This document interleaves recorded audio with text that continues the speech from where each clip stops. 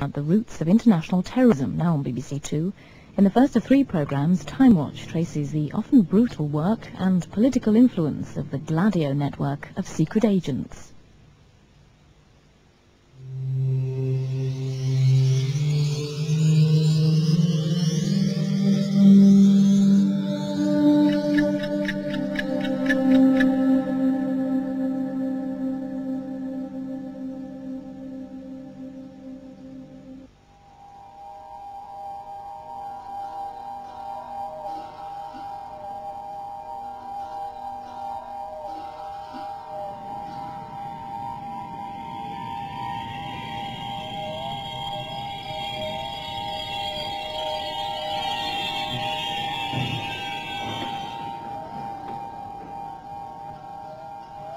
Un soir, euh, cette personne est venue chez moi et m'a demandé si je voulais euh, me charger de, de missions euh, confidentielles. Il a expliqué que c'était quelque chose qui était dans le cadre de l'OTAN, mais sans beaucoup plus d'explications, parce qu'à ce moment-là, j'étais toujours susceptible de refuser, donc il ne s'indiquait pas de donner trop de détails, puisque toute cette organisation était absolument secrète. C'était une des, organisations les plus secrètes qui ait jamais existé.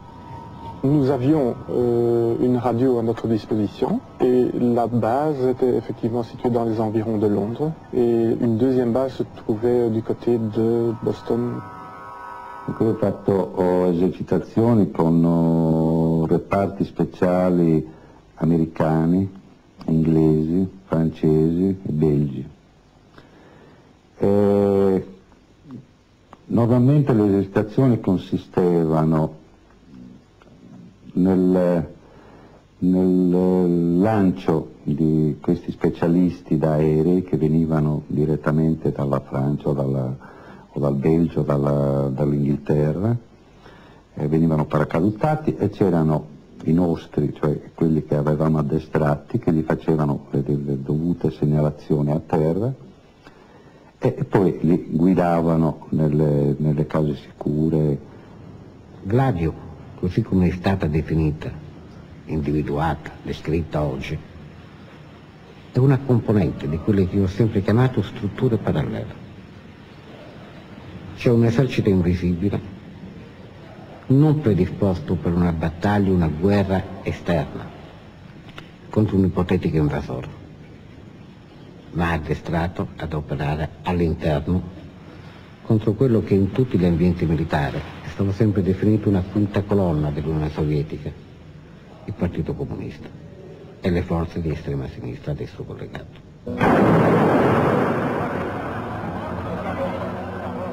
For 40 years, secret terrorist organizations, many trained by Western intelligence agencies, have manipulated the political control of European sovereign states by a campaign of terror and murder. Originally part of a secret network, these groups changed from being defenders of state security into attackers of the established political order. Until two years ago, that secret network was generally known by the single word Gladio.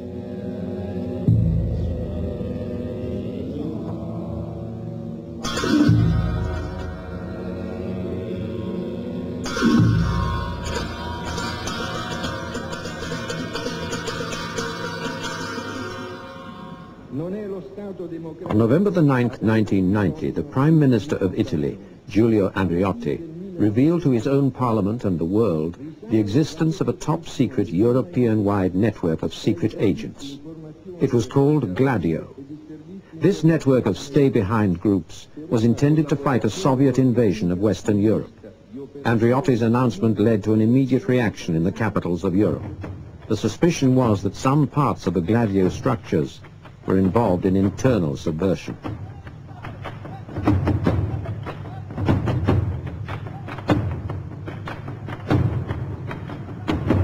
Nous avons été saisis de la question du stay behind belge, qu'on a appelé la question Gladio, par le scandale qui a été déclenché en Italie par la révélation de l'existence en Italie d'un réseau stay behind.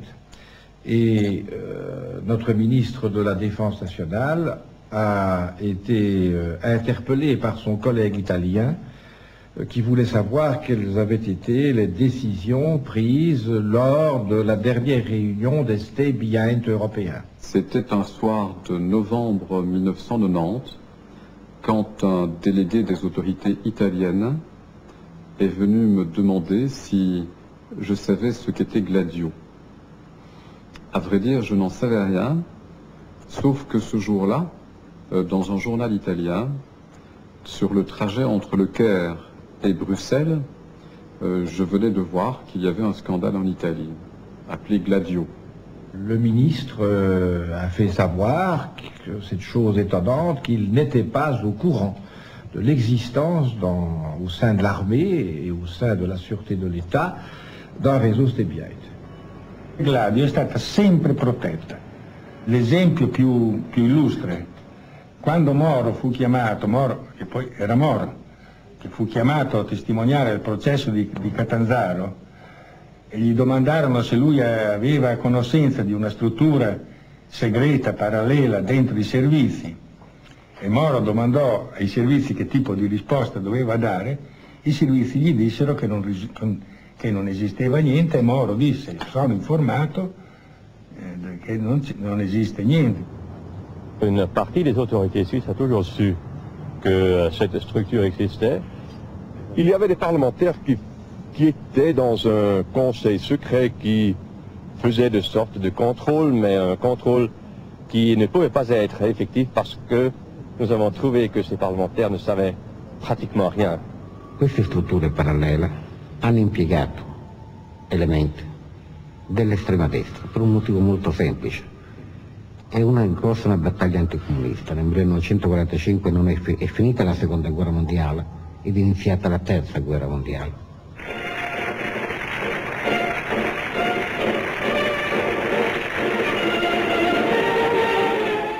The autumn of 1944. Benito Mussolini would be dead in six months. Adolf Hitler in less than a year. della Repubblica Sociale Italiana è il simbolo As the Allied armies advanced on the capitals of Axis-occupied Europe, the other war, the secret war of agents and partisan groups that had always been part of the bigger war, was to reach its own climax.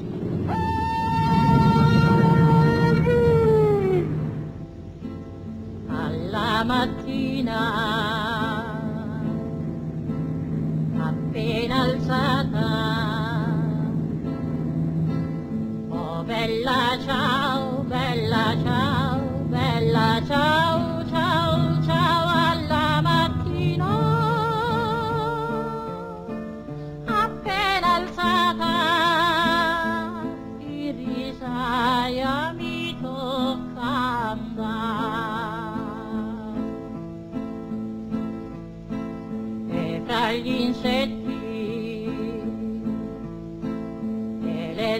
zanzare. Oh bella ciao, bella ciao, bella ciao,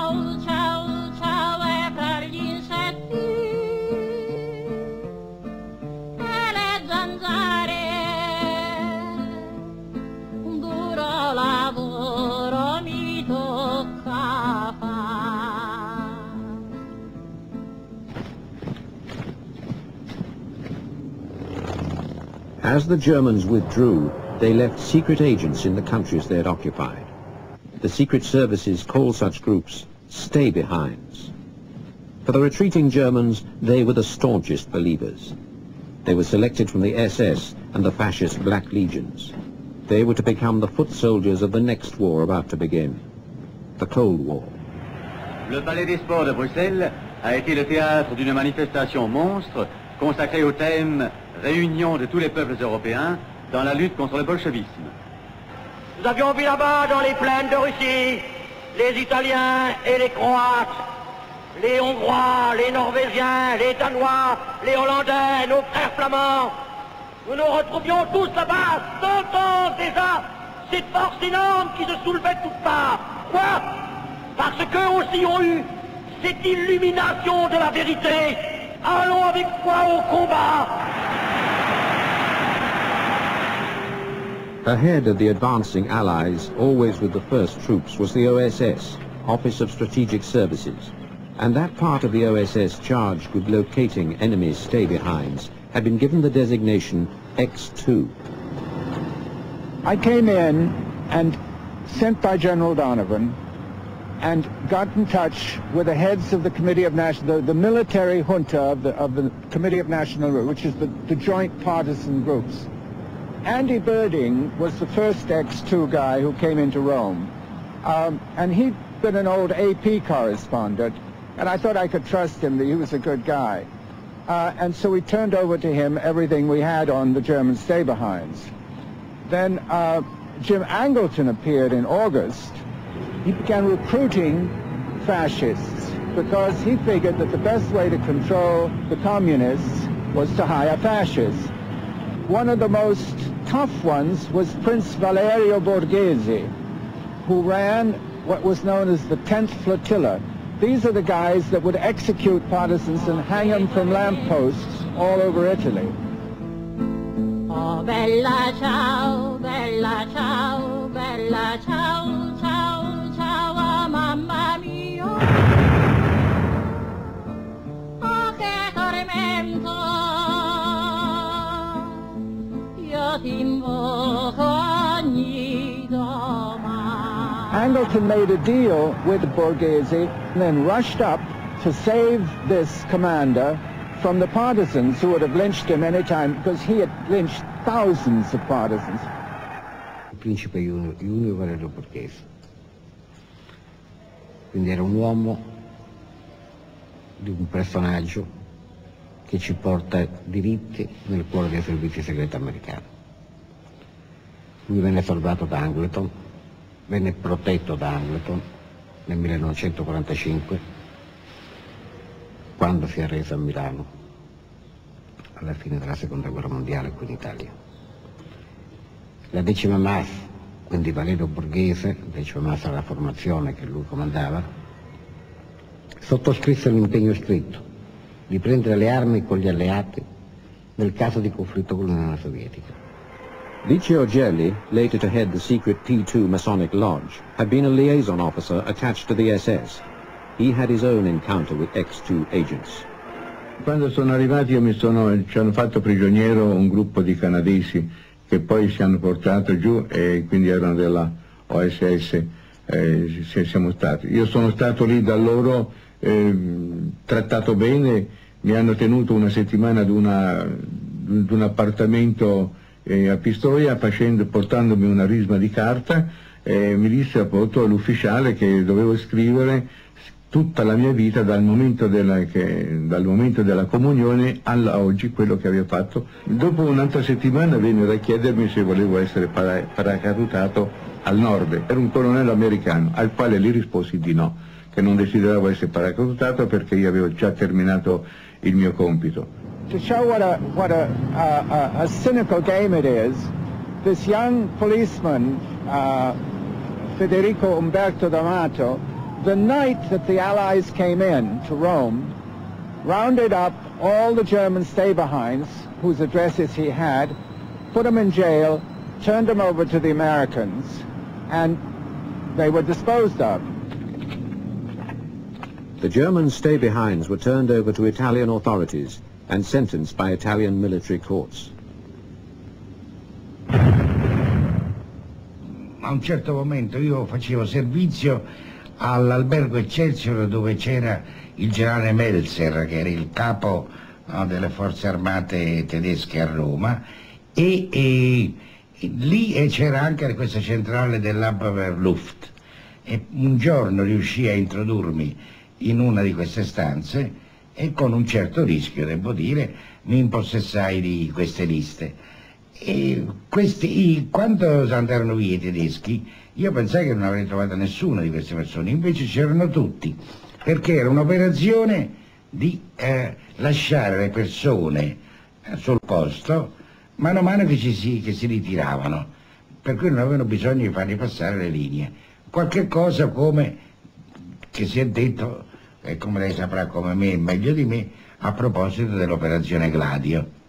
E quando gli americani vennero qui e li cercarono, e ritrovarono che erano già arrestati.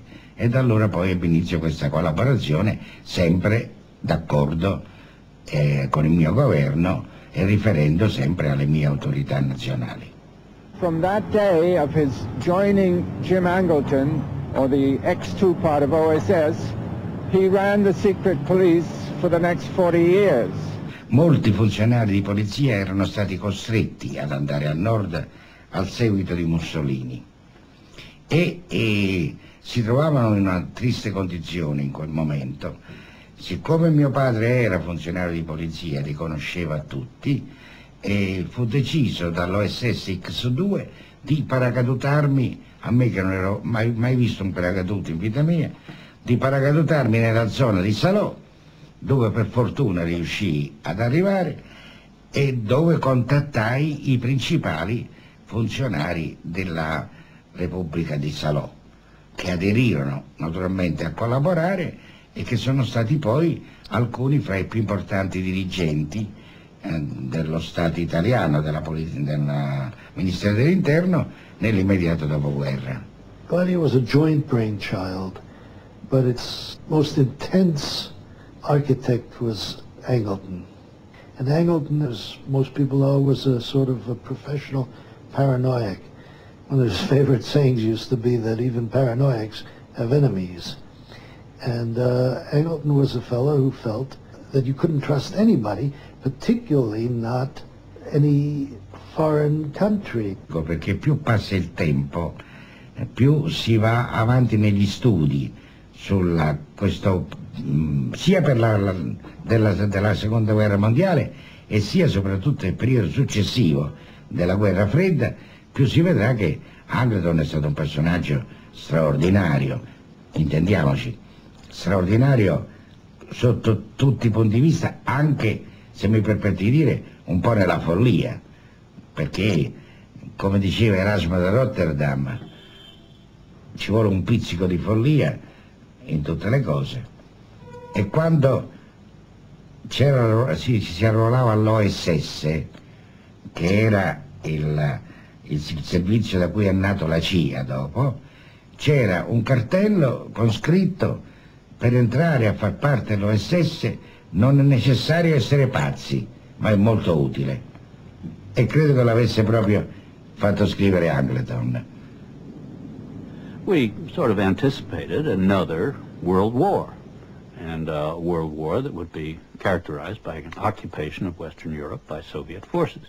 And therefore, we were preparing to set up the base for a resistance movement uh, which could exist during war. The uh, Soviet Union was viewed as our primary antagonist, our enemy, and I think that was true. Uh, the Stalinist period was a really vicious uh, period in the Soviet Union, and uh, we thought uh, in the late 40s and early 50s that Stalin might invade Western Europe. It was the plan that I knew about that the uh, people who had a logical reason for being in a given area where we felt it was essential to have stay-behinds and whose uh, activities could continue even after uh, an attack by the Warsaw Pact. Uh, he would be given additional uh, training.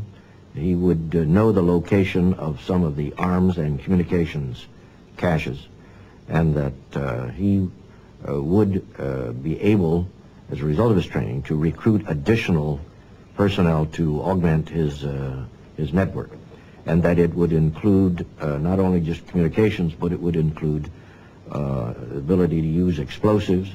Uh, the stay-behind effort, in my view, was simply to be sure that if uh, the worst came to worst, if a communist party came into power, that there would be some agents there who would tip us off and tell us what was happening and um, be around to, to uh, provide the information uh, even after the coup might occur. With the emergence of NATO in Western Europe, in specific response to the communist takeover in Czechoslovakia in 1948 and the Berlin blockade, uh, directives were issued to establish Europe-wide stay-behind organizations along the lines which existed in the final years of World War II in Western Europe.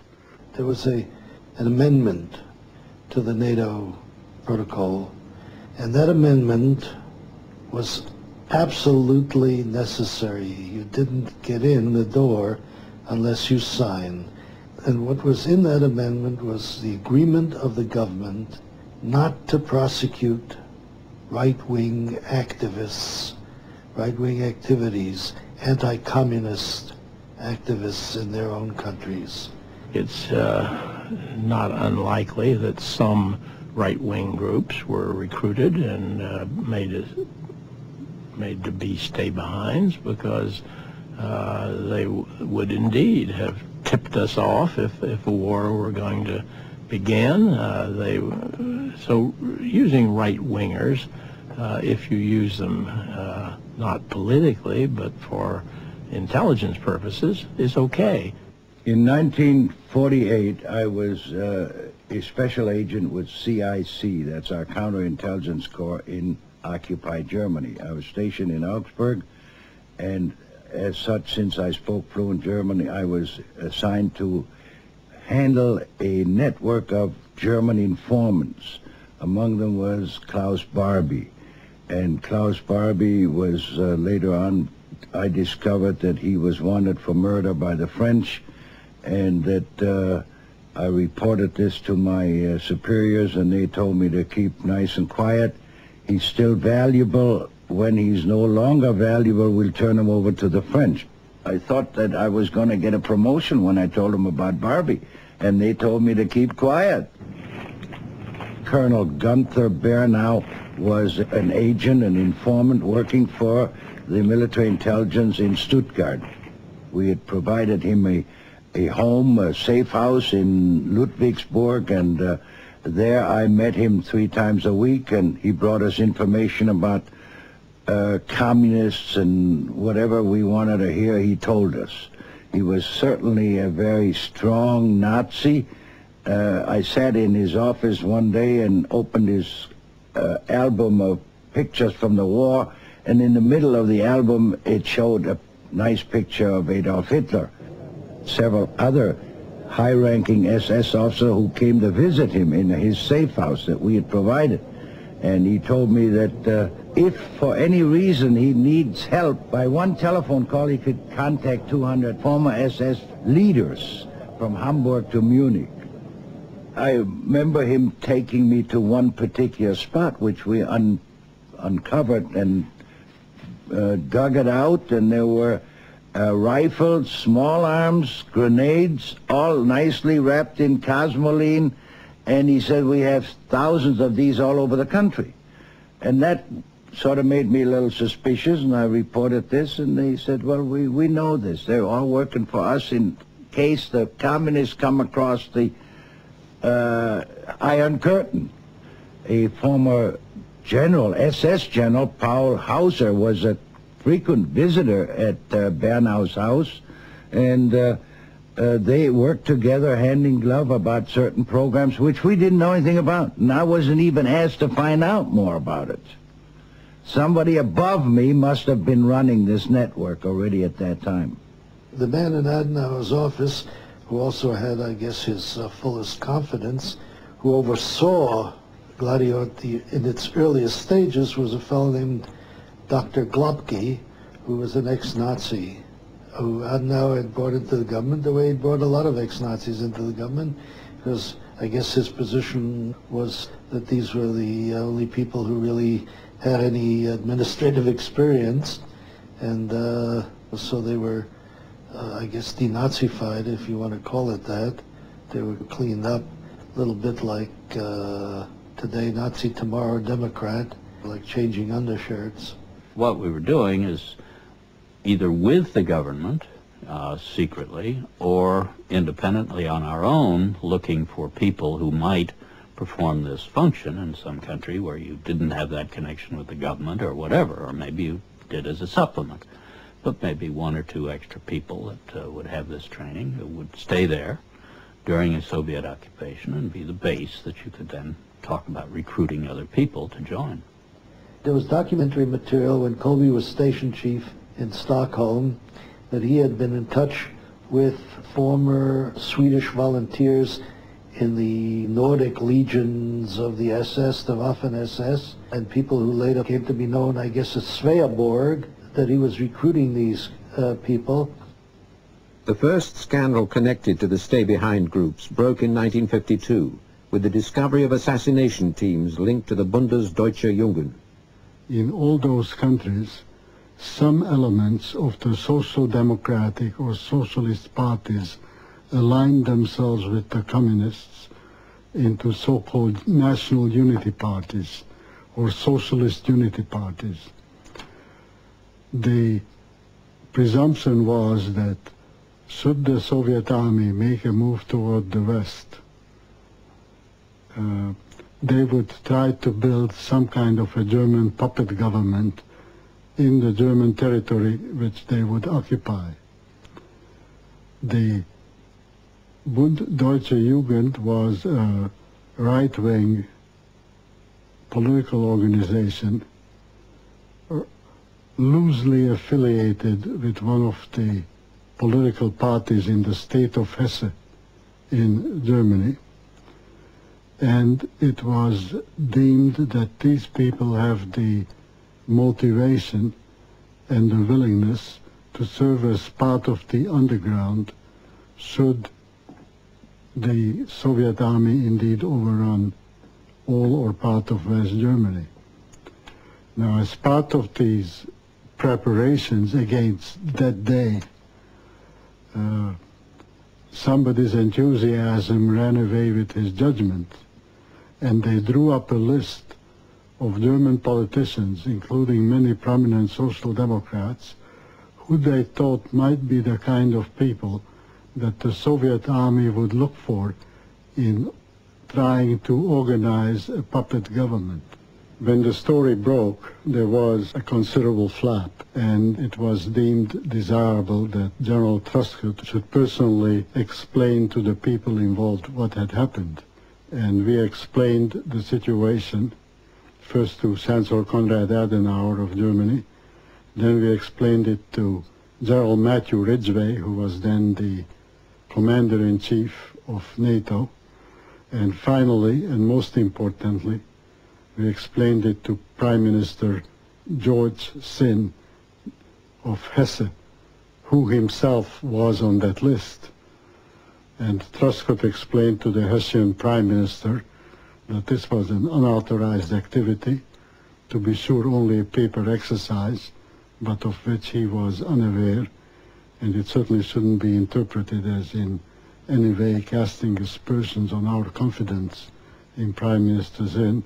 From the beginning, Gladio was really divided into two spheres of influence, British and American, because the, the original agreement between Sir Stuart Menzies and uh, the uh, ex-OSS people, Wisner and those, had foreseen that the British would retain their sphere of influence in the countries that were traditionally British, such as the Netherlands, Belgium, Portugal, Spain, and the United States had very little to do with those. We'd see, or rather I would see, documents having to do with that, but if anything needed to be done, I would have to contact uh, somebody who had that responsibility in DI6. Après la guerre, euh, le ministre, le chef de l'Intelligence Service, Menzies, Monsieur Menzies a pris contact avec euh, le ministre des Affaires étrangères de Belgique, Monsieur Spaak, très connu, M. Paul-Henri Spaak, et euh, ils se sont entendus sur euh, le principe de créer un réseau stébien de Belges euh, en période de paix afin justement de ne pas connaître tous les inconvénients et tous les dangers qui avaient été liés à la constitution de Stébien pendant la guerre. La relation peut-être privilégié au départ entre les services de renseignement britanniques et le service de renseignement belge, trouve son origine naturelle dans les contacts qui ont eu lieu entre M. Spack à l'époque et le patron du service de renseignement euh, britannique. Et dans cette réunion, ce tripartite meeting avec les États-Unis, la Grande-Bretagne et la Belgique. Cominciare dal 51, eh, americani, inglesi e francesi per primi, eh, cominciarono a preoccuparsi di che cosa sarebbe potuto accadere se l'Europa fosse stata invasa. E si mossero in base all'esperienza fatta da due grandi organizzazioni che avevano concorso a organizzare e a sostenere la resistenza in Europa contro il nazismo. Lo Special Operation Executive britannico et l'Office for Strategic Service américain. Ces réseaux euh, ont été constitués à l'intérieur de services secrets. Enfin, ce qu'on appelle les services secrets, c'est-à-dire du service des renseignements militaires et de la sûreté de l'État. C'è una grossa discussione sulle, sulla legittimità di Gladio per, perché per la nostra Costituzione Gladio doveva quantomeno essere dichiarata nelle linee generali al Parlamento. Questo è un problema. Il fatto vero è che eh, ammesso anche che, che ci fosse la necessità di avere una struttura segreta o riservata, e nei trattati internazionali spesso ci sono delle clausole segrete, però eh, la linea di difesa di, questa, di questo segreto deve andare da un Presidente del Consiglio che sia il Presidente del Consiglio che entra. Il Presidente degli Stati Uniti eletto passa due mesi a essere informato di quello che esiste. Quindi se il primo Presidente del Consiglio che ha autorizzato Gladio eh, doveva dare questa informazione ai ai suoi successori e quindi doveva essere questo. Noi invece abbiamo trovato che, avendoli interrogati quelli che sono rimasti vivi, che una parte sono stati informati in un certo modo, molto sommario, come vi dirò, altri non sono stati informati affatto. Il eh, senatore Fanfani, che è stato eh, Presidente del Consiglio sei volte, ministro degli interni alcune volte, segretario della democrazia cristiana e segretario molto forte, non è stato mai informato su sue testimonianze, su di, sul fatto che non esistono, non è stato mai informato. Altri non sono stati informati. Only those people who were friendly to American aims and policies were made aware of this any political leader who was inimical or was untrustworthy knew nothing. Stay Behind Nets non faceva parte della NATO, cioè dell'organizzazione militare integrata. Era istituita all'interno dell'Alleanza Atlantica. Tant'è vero che la Francia continuò a farne parte anche dopo essere uscita dalla NATO.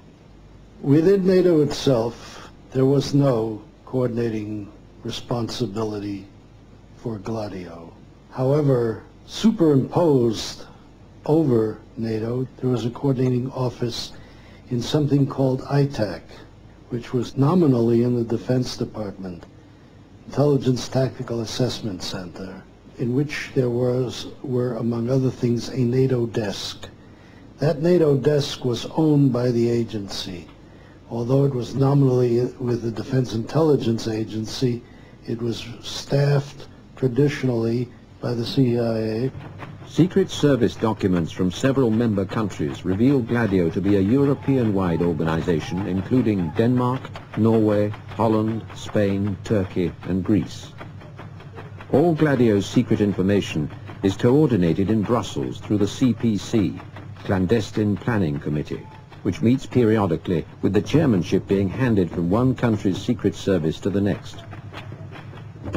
The entire organization is handled outside of NATO. Gladio è cominciata in Italia nel 1951, quando il generale che comandava il SIFAR di allora, il generale Broccoli, scrisse al capo di Stato Maggiore generale dicendo devo mandare sei ufficiali a un corso dell'intelligence service in Inghilterra. Sì, ho semplicemente assistito a delle dimostrazioni addestrative, didattiche dei, dello staff dello Stay Behind inglese, cioè come, come loro addestavano i loro uomini nel campo soprattutto degli esplosivi e delle armi.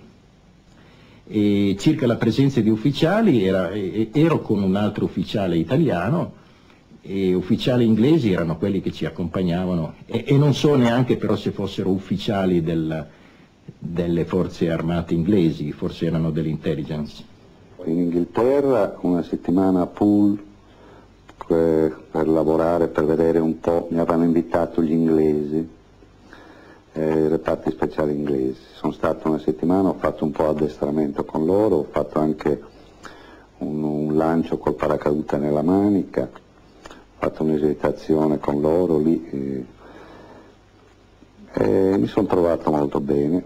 Poi sono stato a Airford ma eh, per pianificare un'esercitazione con gli SS inglesi. E io ebbi così delle confidenze da parte dei miei colleghi e amici inglesi che a quella base affluivano anche rappresentanti di altri corpi palesi, speciali, inglesi, tra cui lo Special Branch, che è un, che è un corpo palese, che mi pare di ricordare bene sia stato creato proprio per la per la lotta contre l'IRA. Le financement au départ a été pour partie assuré par euh, les Anglais et les Américains. Nous avons pu constater que euh, le, le STBN belge avait reçu des pièces d'or, euh, notamment des pièces d'or, euh, qui devaient servir de viatique pour les agents qui auraient dû, ou les instructeurs qui auraient dû euh, opérer en temps de guerre. There's a 140-man force, special forces. Basically, logistics, training, supply, planning. No active taking part because that would have destroyed the doctrine of deniability. So it was always, we'll help you, we'll, te we'll teach you how to do something, but you guys have to do it yourselves, and um, we're not even going to tell you what to do, but uh, we assume that you know. I was once in charge of low country affairs, and I know how the Dutch and the Belgians and the Luxembourgeois felt about Stay Behind, and how very carefully they handled it, and how extremely secret it was. Uh, I know when I was chief in, uh, in, the, in the Low Countries, uh, uh, the chief of service didn't want to discuss it in his office. We'd walk in the park and talk about burials that were being put down, communication equipment, or whether or not the latest equipment they had, and so forth. En septembre 45, je suis rappelé par mon chef, donc, et à ce moment-là, il m'envoie chez le ministre de l'Intérieur belge, M. Albert de Bleskauer, et Albert de Bleskauer donc me dit euh, j'ai besoin de vous et il me dit il faudrait aller voir mon collègue italien Mario Schelba et je suis parti à Rome et Mario Schelba m'a expliqué ce que je ne savais pas du tout. Nous avons constitué un réseau, c'était bien le glaive, Gladio, et il a fait des exercices d'alerte pour moi, un peu dans toute l'Italie, pour montrer qu'en six minutes, il pouvait être partout avec des forces d'intervention. Le problème italien n'est à comparer à aucun autre, parce que pour eux, le danger principal numéro un, c'était pas l'armée soviétique, c'était le danger intérieur du communisme italien qui avait, je crois, 40% des voix aux élections précédentes. Et c'était ça que Shelba avait peur. Et c'est pour ça que lui avait des dépôts d'armes et des équipes d'intervention.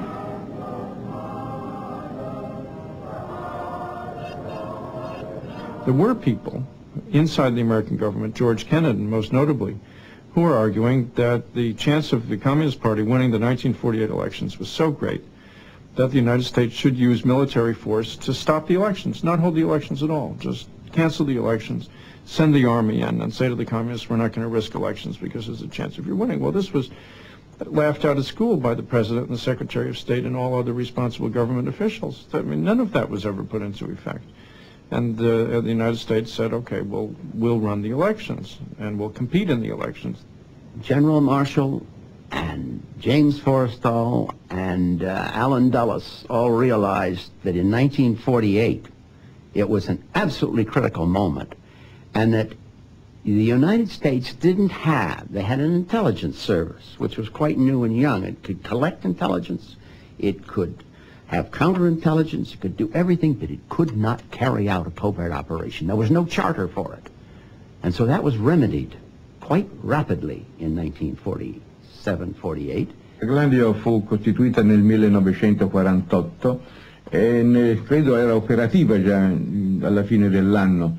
Era stata composta con una grossa metodicità di scelta di persone, che molte persone provenivano dalle file dei legionari della guerra di Spagna e molte venivano anche dalle file della eh, Repubblica eh, fascista di Salò, eh, gente che sapeva maneggiare molto bene le armi, squadre di nove persone di cui c'erano due capi per ogni squadra perché eh, alcune dovevano conoscere dove c'erano i, i depositi di armi, i depositi di viveri e anche qualche deposito dove c'erano dei denari. Nel 1948 parlo mia, della mia esperienza di giovane appartenente ai gruppi giovanili della democrazia cristiana nella mia provincia. Io avevo vent'anni, non ero nessuno. Che noi, un gruppo di noi, si organizzò nella capitale della provincia e in altri centri viciniori e che fummo armati di fucili mitragliatori, io personalmente avevo uno Sten, e che ci furono fornite bombe a mano dai locali comandi dei carabinieri per l'eventualità che il Partito Comunista non accettasse il responso elettorale e che tentasse un colpo di Stato così come era avvenuto in paesi come l'Ungheria, la Cecoslovacchia, la Polonia, la Bulgaria. There was no need for Gladio to be activated in Italy in 1948. The CIA's first major covert operation succeeded without it. Large sums of money to political parties helped the Christian Democrats defeat Palmiro Togliatti and the Communists. Earlier there had been an attempt on Togliatti's life. It's never been discovered who was behind this, but the Italian press declared that it was the work of a madman. On a dit que c'est le CIA qui a créé Gladio. C'est impossible puisque CIA a été créé en septembre 49 ou septembre 49 Or, Gladio existait en Italie, en France, en Suisse, en Belgique, en tout cas, et probablement, oui, en Espagne, avant septembre 49, donc avant la création de la CIA. Mais, comme ils le font souvent, les Américains sont montés dans le train en marche. After the war, a rather powerful Communist Party arose, having, I think, 21 uh, uh, members of parliament, which was unique in Belgium, it never happened before. And given the international context of co communism, um, right-wing people were of course afraid of what they called communist danger in Belgium.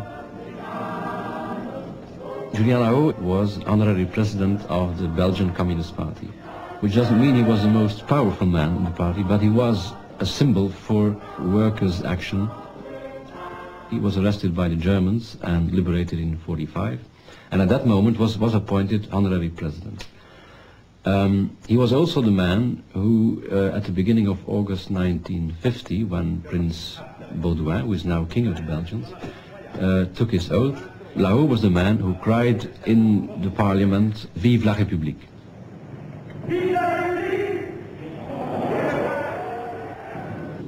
King Leopold had been deported to Germany, then to Switzerland after the war, and center-right and right-wing were agitating to bring him back on the throne the left wing was uh, opposed to the return of the king, so the right wingers were for the return of the king. And some of these groups established in 1948 its first contacts within the American embassy with an officer called Parker, who uh, insisted on not only the Leopoldist agitation, he insisted on the formation of stay-behind groups to assure anti-communist resistance Julien Lahaut was murdered in 1950. The man who killed Lahaut came out of right-wing resistance group which was called the Secret Army, l'Armée Secrète. And very soon after the war he was engaged in anti-communist intelligence and action work.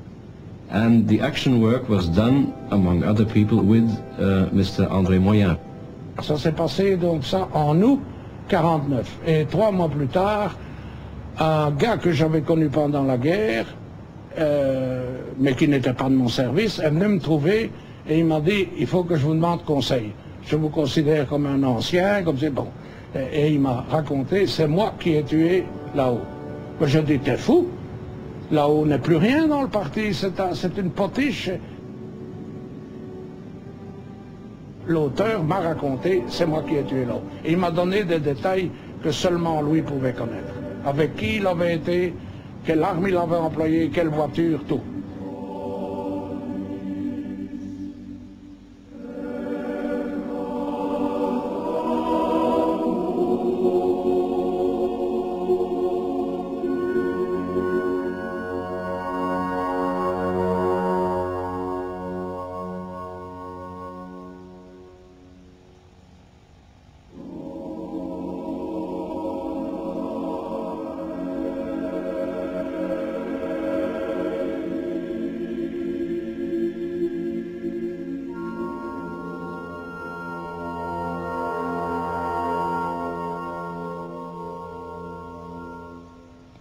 Role of Gladio within the Italian Red Brigades next week at 10 past 8 were terrorist atrocities against civilians orchestrated by the state.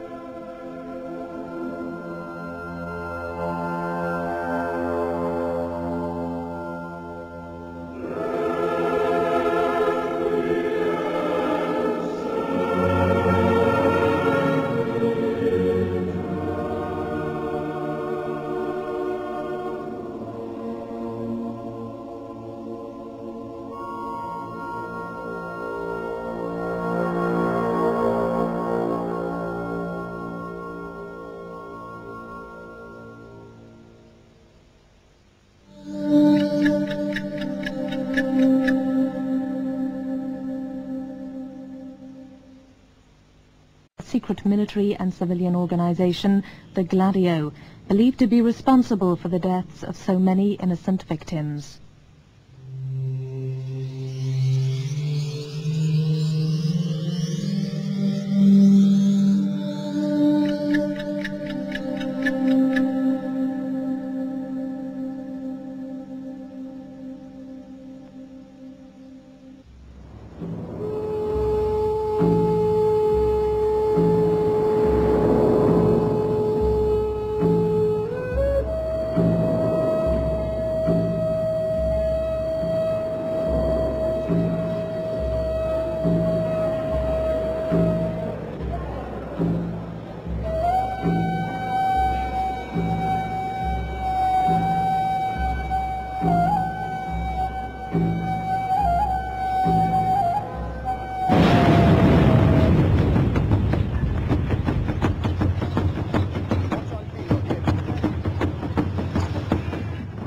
Had gone on holiday with her boyfriend, and five days into their holiday on the 2nd of August, they were killed in the Bologna train bombing explosion.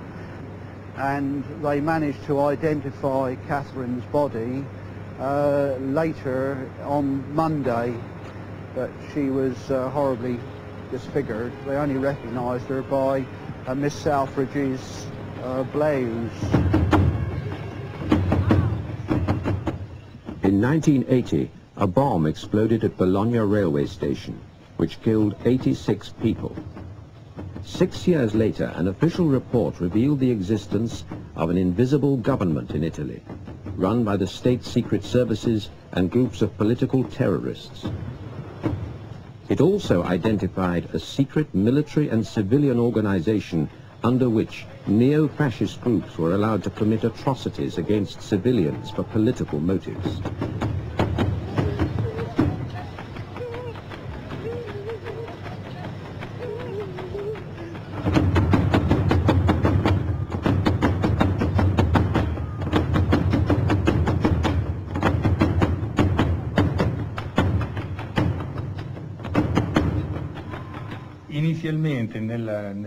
Mandato che il Parlamento ci aveva dato, noi dovevamo occuparci delle stragi irrisolte in Italia, a cominciare dalla grossa, la prima grossa piazza Fontana, giù scendendo gli attentati ai treni, Brescia, eh, poi si arriva alla strage della stazione di Bologna, stragi di, di minori come numero di morti, tipo quella di Peteano. Peteano è stato un atto di guerra, motivato da una ragione molto semplice. I corpi di polizia, i servizi di sicurezza e le forze politiche che usufruiscono dei, dei servizi e di queste forze di polizia hanno strumentalizzato il fascismo italiano. Lo hanno strumentalizzato fin dai primordi, fin dal 1945-46. Petiano nasce come un atto di rivolta, come un segnale di rivolta contro questa strumentalizzazione, colpendo l'arma più rappresentativa dello Stato. On May the 31st, 1972, the Carabinieri in Petiano received a phone call. Senta, vorrei dirle che Glavè una, una macchina che ha due buchi eh, sul, sul parabrezza, no? Fra la strada del Poggio Terformata a Savogna. Three policemen were lured to a car primed to explode. All three were to die. Da destra non si poteva e non si doveva attaccare lo Stato e chi lo Stato rappresentava. Bisognava attaccare i civili, quello che è il popolo, le donne, i bambini, le persone innocenti e strane ad ogni gioco politico. Per una ragione semplice, perché bisognava obbligare questa gente, l'opinione pubblica italiana, a rivolgersi allo Stato, a rivolgersi al regime per chiedere maggiore sicurezza il ruolo della destra d'Italia è stato proprio questo. Si è messa al servizio di apparati di Stato che hanno alimentato una strategia che giustamente è stata definita della tensione, in quanto bisognava portare la gente ad accettare in qualsiasi momento, nell'arco di un trentennio, dal 1960 al 1985-86, la possibilità di uno stato d'emergenza. Quindi la gente avrebbe barattato molto volentieri parte della sua libertà con una sicurezza, con la sicurezza di poter camminare sulle strade, viaggiare sui treni, salire sugli aerei, entrare in banca. Questa è la logica politica che sta dietro tutte le stragi, che rimangono impunite proprio perché lo Stato non può condannare se stesso o proclamare se stesso colpevole di quello che ha fatto. I magistrati avevano notato in tutte una interferenza più o meno pesante, molto spesso pesantissima, di servizi, di, di uffici riservati della polizia, di organi insomma, dello Stato, che invece di aiutare il magistrato a trovare la verità, imbrogliavano le carte perché la verità non venisse trovata. L'esistenza di strutture clandestine all'interno dei servizi segreti di sicurezza italiani è emersa per la prima volta, seppur in maniera molto generica, già nel corso del 1984, a seguito di dichiarazioni rese da un detenuto per eh, processi di natura politica, Vincenzo Vinciguerra, sull'esistenza appunto di queste strutture clandestine collegate eh, alla CIA e ai servizi segreti in genere del mondo occidentale. Ci furono dei, degli stragisti, degli autori di strage, mi riferisco in particolare a Vinci Guerra, che fu il reo confesso della strage di Peteano, che al giudice Casson nell'84 descrisse la struttura Gladio in termini assolutamente precisi, puntuali, dettagliati, che potevano figurare nell'appunto che poi lesse Andreotti alle Camere. Io come venga a sapere l'esistenza di queste strutture parallele? Faccio parte di Ordine Nuovo, che altro non è che un'organizzazione legata, dipendente dai servizi di sicurezza italiani. I gladiatori, gli elementi che noi contattavamo per l'arruolamento ricevevano delle informazioni, dei pacchetti di informazioni eh, di, di, contenuto progressivo nel tempo, cioè non si diceva tutto al primo incontro, si diceva solo quello che secondo la, diciamo così, la procedura dei servizi segreti si chiama la necessità di conoscere.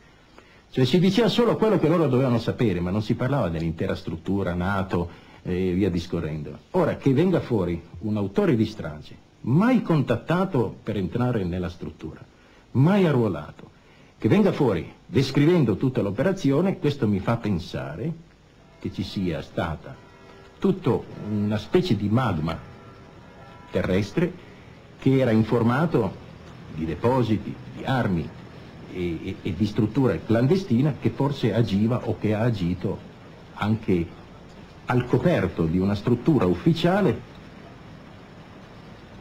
loro hanno fatto per 40 anni tutto il possibile perché Gladio rimanesse un segreto. È stato detto che era, è stato un miracolo che per 40 anni l'Italia, che non è il paese dei grandi segreti, abbia tenuto un segreto.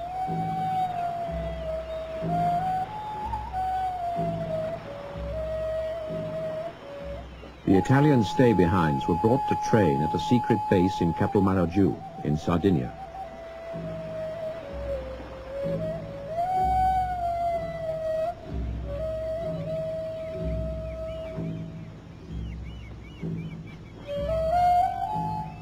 Siamo a qualche chilometro a sud della città di Alghero, su una collina dalla quale si può vedere la famosa base di Poglina, cioè eh, quel complesso che si chiamava Centro Addestramento Guastatori.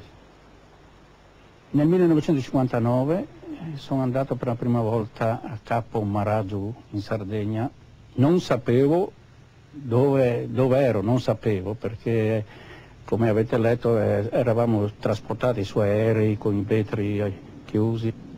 Arrivavano all'aeroporto di Fertilia, venivano imbarcati a Roma, arrivavano con un aereo mascherato, dal, dal, da lì venivano trasbordati su un pulmino mascherato, cioè tutto chiuso, venivano scaricati davanti alla palazzina del loro alloggio e da lì iniziava l'addestramento dipendeva appunto da un ufficio che era l'ufficio ricerche, l'ufficio R, l'ufficio che addestra normalmente le spie e dei reparti speciali. Io, in quanto eh,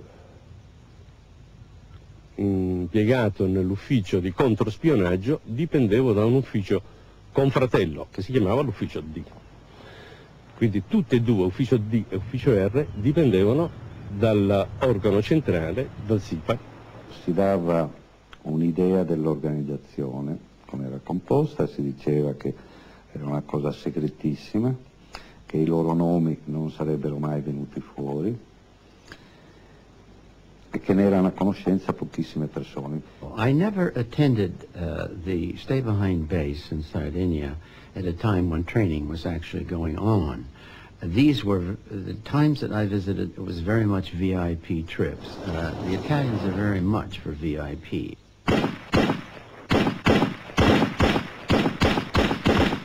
Everything ran very smoothly. I had the greatest admiration for the men uh, out at the base. Si faceva vedere anche per un paio d'ore, per una mattinata, come funzionavano gli esplosivi. Ma loro non li toccavano mai, eh. era solo oh, i nostri eh, specialisti che facevano vedere queste cose. E appena assunto l'incarico all'inizio del, del mio comando della, della sezione, la mia prima preoccupazione, probabilmente questo era dovuto al mio passato militare, dove come comandante di reparto ero molto orientato a conoscere i miei uomini, la, la mia prima preoccupazione fu di incontrare alcuni di questi uomini che oggi si chiamano gladiatori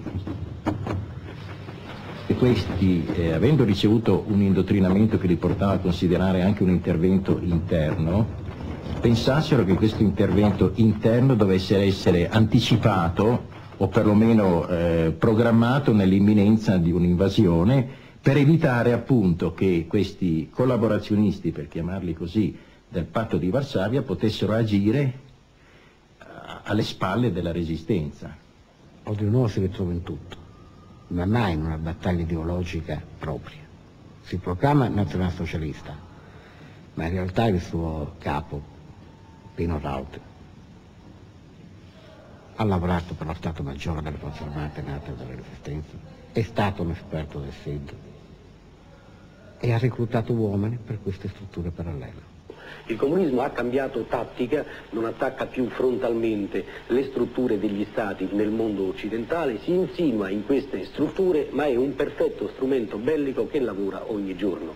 Quindi tutti gli strumenti anticomunisti di tipo classico eh, non hanno ancora preso appieno coscienza di questa realtà. Diciamo che è una teoria che una parte della magistratura sta seguendo, che invece è che eh, l'esplosivo eh, che stava dentro ai Nasco possa essere stato utilizzato eh, nell'attentato di Peteano.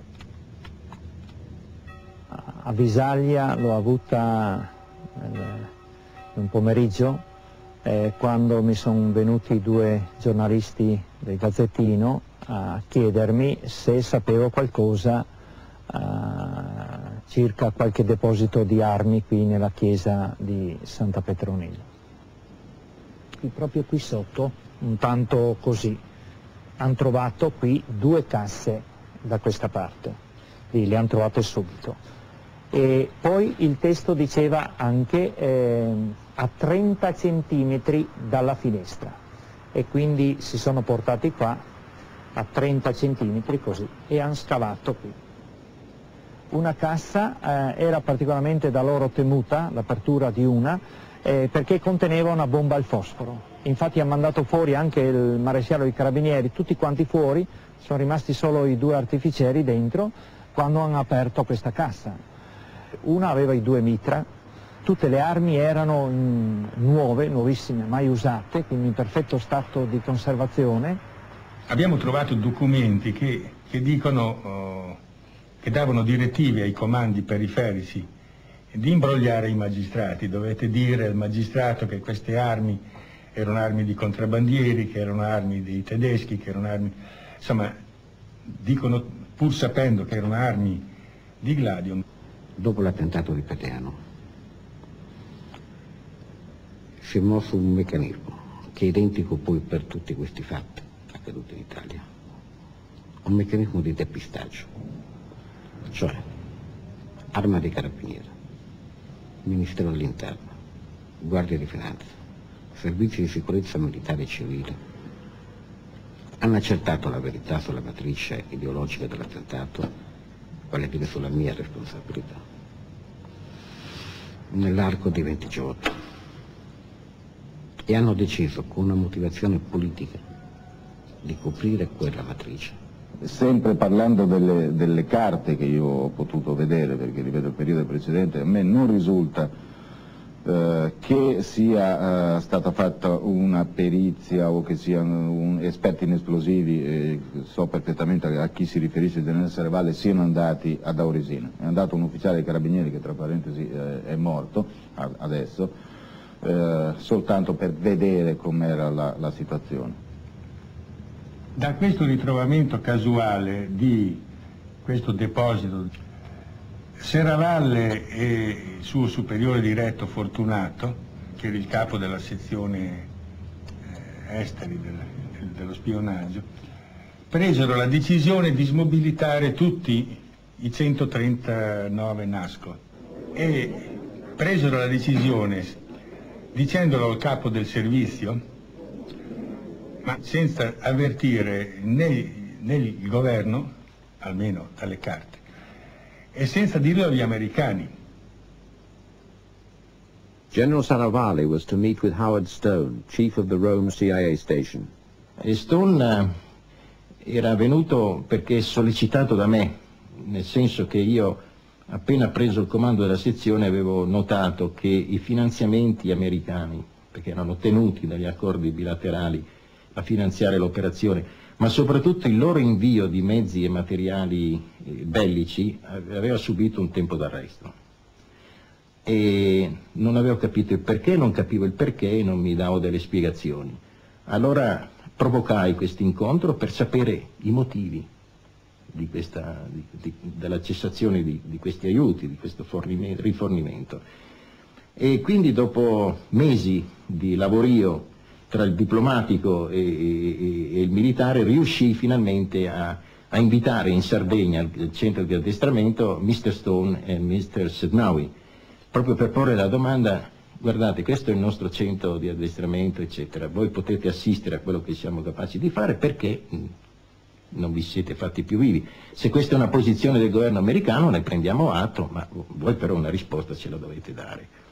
E, e realizzai che gli interessi della CIA rappresentati appunto da questi due funzionari non erano molto centrati sul grado di efficienza di addestramento che noi avevamo raggiunto, ma riproposero la questione del controllo interno cioè delle predisposizioni da adottare contro moti di piazza, scioperi di grande estensione, di scala nazionale si intende, e soprattutto eventuale crescita del Partito Comunista. Quando Gladio comincia, perché poi 56 soprattutto negli anni 60 è stato abbastanza attivo, gli americani più volte nei briefing, nei meeting che facevano eh, sostenevano il fatto che bisognasse anche adoperare la struttura per, contro, contro insorgenza.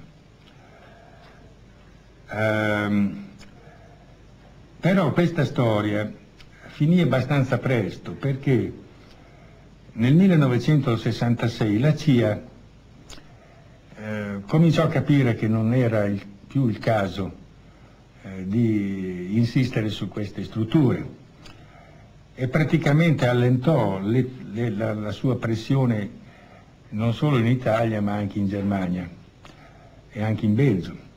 E Mr. Stone disse chiaramente che gli aiuti, i finanziamenti e il supporto della CIA erano condizionati dalla nostra intenzione di mettere in atto, di programmare di pianificare questa diciamo così, queste, queste, misure di, di contrasto all'interno.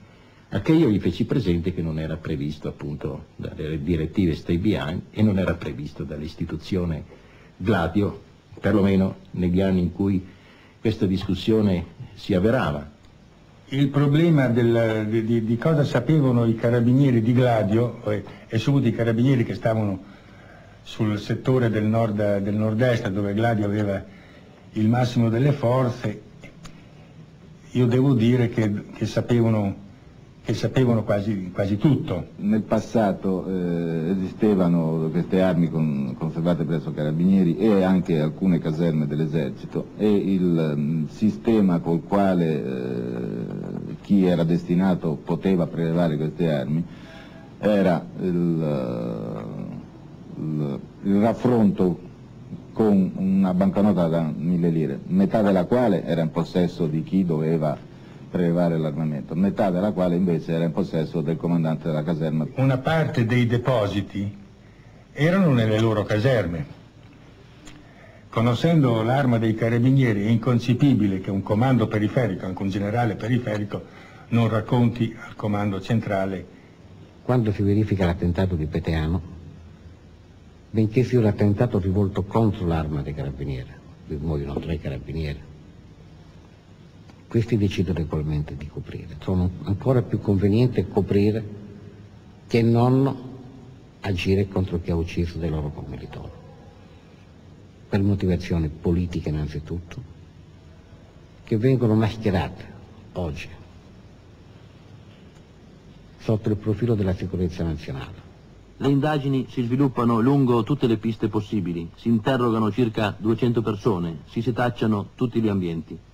La voce della telefonata che invita i carabinieri a recarsi a Peteano viene ascoltata da migliaia di persone, ma nessuno la riconosce. Stamane a Gorizia l'annuncio degli arresti. Gli indiziati per la strage di Peteano, tutti meno il più giovane, sono pregiudicati, furti, risse, legami con l'ambiente della prostituzione. Escluso il movente politico, L'ipotesi su cui gli inquirenti si sono mossi è quella della vendetta nei confronti dei carabinieri. Stamane, dietro denuncia del comando di Legione Carabinieri di Udine, e in esecuzione di provvedimenti dell'autorità giudiziaria abbiamo arrestato sei persone con un'azione coordinata da parte dei reparti speciali carabinieri di Gorizia, di Udine e di Verona. Il generale Mingarelli all'epoca della strage di Peteano era il comandante della legione dei carabinieri di Udine può essere strano che un ufficiale, un ufficiale generale, un ufficiale superiore dei carabinieri si sia prestato a coprire i responsabili di una strage nell'ambito della quale erano morti dei carabinieri. Nella strage di Peteano Mingarelli ha in qualche modo inquinato l'inchiesta, come come le ho detto prima, e per questo sono stati condannati lui e altri ufficiali dei carabinieri. Il generale Mingarelli indubbiamente conosceva l'esistenza di Gladio. Cioè conosceva l'esistenza di una struttura segreta parallela alle forze armate che operava in Friuli nell'ambito della sua giurisdizione come ufficiale comandante della regione Carabinieri di Udine. Ed è un uomo chiave, un personaggio chiave perché l'avvio di tutto quanto, anche se a livello di esecutore di ordine, parte proprio da lui.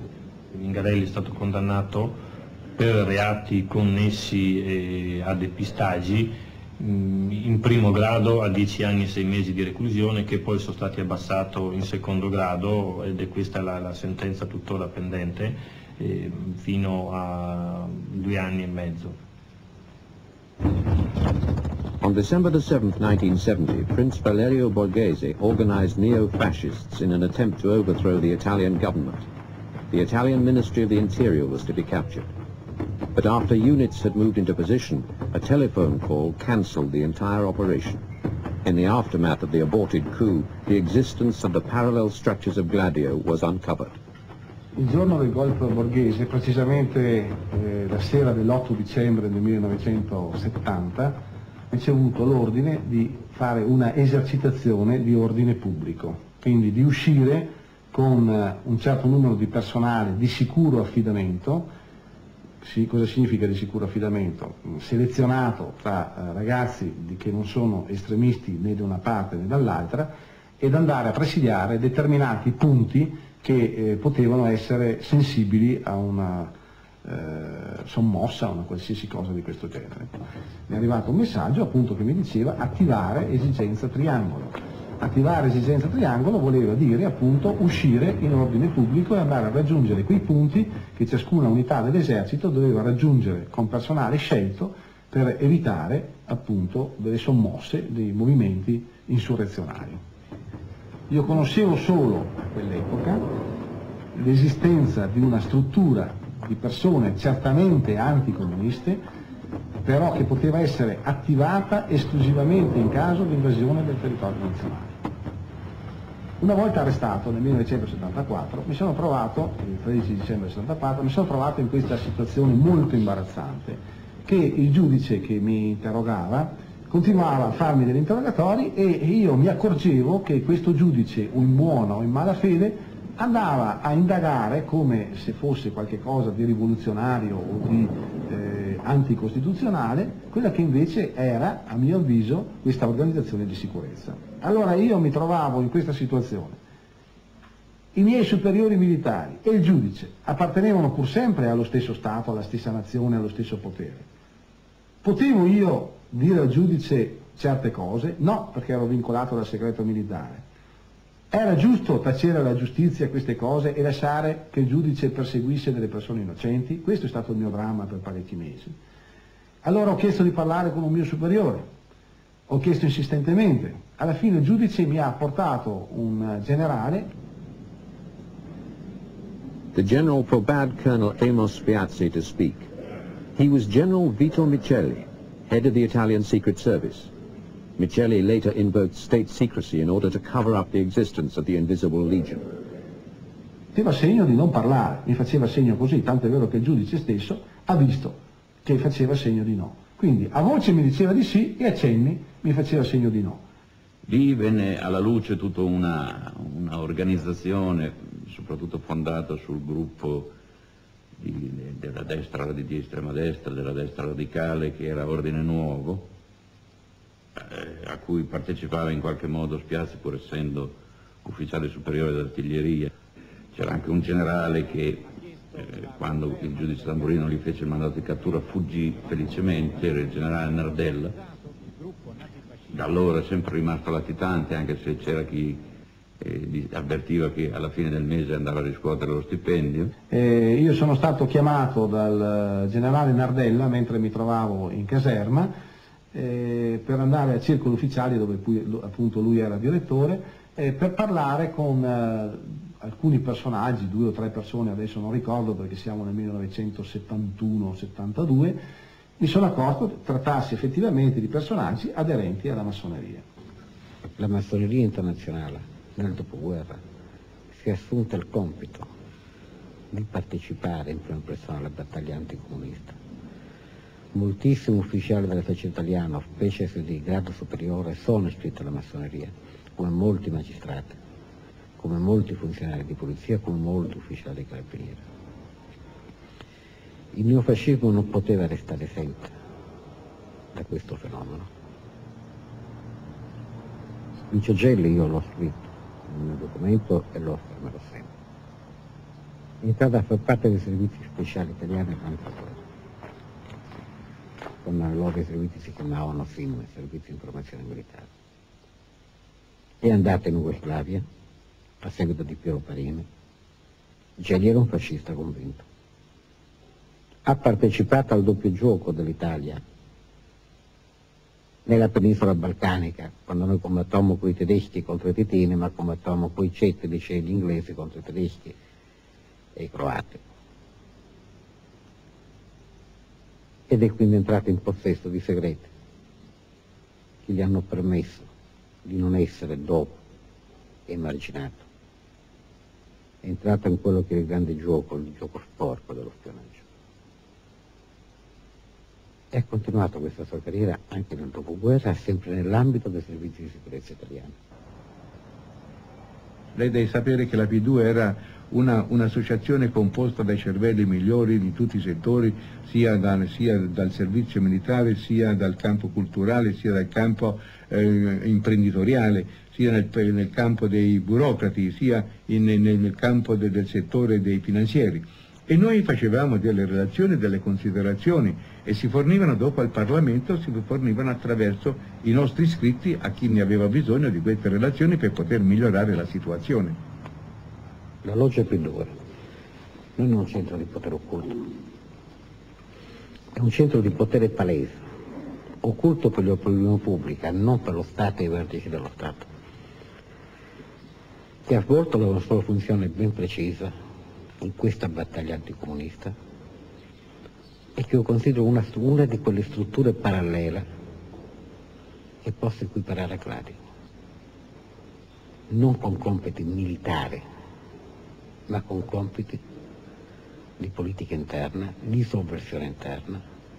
P2 was basically, I guess you, you might call it a wholly owned subsidiary of uh, the company in Italy.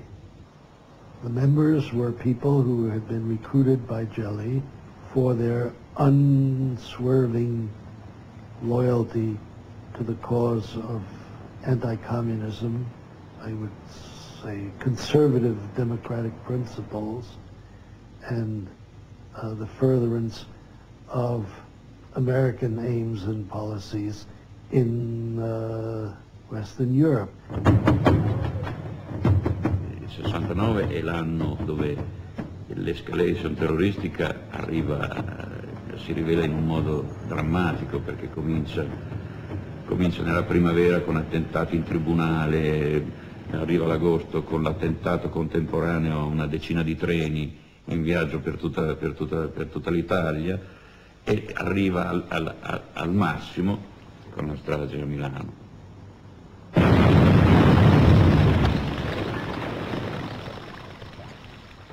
Il ruolo di Freddy Ventura del gruppo di Padova è un di comprimari. Non sono loro gli unici responsabili dell'attentato di Piazza Fontana. Loro partecipano, come ho già detto anche in sede giudiziaria, a Metrinco nell'ottobre del 72, in maniera esplicita, altri, come riferisco, che è un elemento di punta del gruppo di Padova, in maniera esplicita siamo stati noi. Però non risponde al vero che sono stati soltanto loro. Altre persone hanno partecipato a Roma, non del gruppo di Padova, persone che non sono mai state identificate. Le indagini per la, strada, per la strage di, di Piazza Fontana ebbero una vita molto travagliata. Eh, nel senso che eh, delle cinque bombe l'unica che aveva provocato delle vittime, eh, erano vittime non da poco perché morirono 18 persone, altre 80 rimasero ferite nella Banca Nazionale dell'Agricoltura, la eh, polizia non ebbe esitazione fin dall'inizio a dire anche in campo internazionale quando chiese la collaborazione delle altre polizie che le indagini mh, erano orientate su gruppi estremistici eh, eh, di natura anarchica. Io mi sono trovato di fronte a uno scherzo di cattivo gusto da parte di alcune forze politiche che hanno strumentalizzato alcuni settori della magistratura sono stato in un primo tempo condannato poi assolto, la mia sentenza di assoluzione è stata annullata, sono stato di nuovo giudicato e alla fine definitivamente assolto. E per questa avventura politico-processuale penitenziaria sono stati impiegati 13 anni della mia esistenza. Piazza Fontana è, è il momento d'arrivo terminale di un'operazione che doveva portare alla proclamazione dello stato di emergenza. E più che i servizi segreti militari, dietro Piazza Fontana negli attentati del 12 dicembre 1969 ci sta il Ministero degli Interni, l'Ufficio Affari Riservati. Quindi il gruppo di Freda ha questo ruolo di esecutore, non di organizzatore, tantomeno di mandante degli attentati del 12 dicembre ma risultò pure da alcuni accertamenti che a Padova, sempre in, eh, in quei giorni, eh, credo in maggio, era stato Guido Giannettini. Guido Giannettini che risultava anche sull'agenda di Giovanni Ventura. Sono stato collaboratore del SID. In che forma? Ero un collaboratore esterno. Che facevi? Fornivo delle informazioni ovviamente. Ogni volta che Gianettini mi parlava delle cose, de, continuava il discorso operativo che faceva con Maletti, io non capendo niente perché non era addetto, mi facevo scrivere il tutto e lo passavo a Maletti. Maletti è stato l'ultimo, eh, dunque io ero collaboratore del reparto D del SID, ero a contatto diretto col capo del reparto, prima il colonnello Viola, poi il colonnello Gasca, poi il generale Maletti fu fatta una perquisizione a casa di eh, Guido Giannettini e, e, nel corso di questa perquisizione furono, lui era già andato via, non era già irreperibile, ma furono trovati in casa sua rapporti analoghi a quelli che apparentemente eh, risultavano essere di un servizio segreto con delle sigle particolari che erano state trovate nella cassetta di sicurezza nella banca di eh, di Montebelluna, cassetta di sicurezza intestata alla madre di Ventura. Mi pare che tra i documenti conservati in una cassetta di sicurezza di cui aveva la disponibilità la madre di Ventura ci sia stato eh, tra le varie carte, ce ne, alcune, ce ne fossero alcune che contenevano degli indirizzi di agenti eh, di servizi segreti americani operanti in Italia. Io all'inizio conobbi Freda, e, e Freda aveva queste notizie su, allora erano movimenti filocinesi, erano i primi movimenti di contestazione in Italia, eh, che ebbero nel Veneto, furono fra i primi, i primi operarono nel Veneto e successivamente eh, siccome io stavo a Roma e Freda a Padova, eh, invece Ventura mh, mm, faceva spesso dei viaggi da Padova, dal Veneto a Roma, allora eh, Freda mi mise in contatto con Ventura e poi seppi che era proprio Ventura che aveva dei contatti diretti con organizzazioni della sinistra extraparlamentare del Veneto. La modesta statura di Gianettini a mio avviso non si prestava a nessun impiego nemmeno un'utilizzazione passiva. Non, non vedo quale apporto la sua attività, era un giornalista, avrebbe potuto dare al, al servizio segreto di questa Repubblica. Sono un gruppo provinciale che si mette praticamente a servizio, come altri gruppi, come già l'Ordine Nuovo, come lo era Avanguardia, come lo erano altri gruppi meno noti. Di questa strategia e la portano avanti. La strategia prevedeva infiltrazione a sinistra e questo l'hanno fatto quasi tutti, l'ha fatto Ordine Nuovo, l'ha fatto Avanguardia, l'ha fatto ovviamente il gruppo di Padova. Attentati da attribuire alla sinistra e tutti hanno fatto le stesse cose. Prima linea era eh, diretta a fare degli attentati per farli ricadere sulla sinistra, la seconda linea invece era di infiltrazione nei mh, mm, gruppi di sinistra e eh, per indurre anche questi gruppi estremistici della sinistra extraparlamentare a fare degli attentati e quindi a inserirsi in questa strategia che mirava a, ad acuire l'attenzione allora sociale e politica nel Paese. Non sono io né i miei amici di allora eravamo membri di qualsiasi partito politico, nemmeno di estrema destra.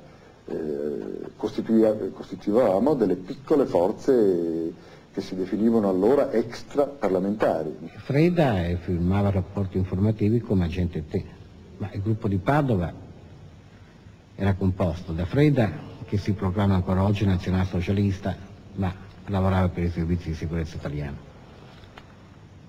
Massimiliano Facchini, che è un collaboratore dei servizi di sicurezza italiani e lo ha ammesso finalmente anche il generale Giannadello Maletti, capo del reparto D.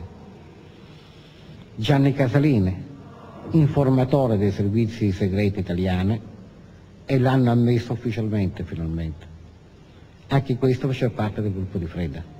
Quindi anche per limitarci a tre nomi, vediamo che in un gruppo numericamente ristretto, tre dei dirigenti lavorano, risultano operanti per i servizi segreti militari italiani.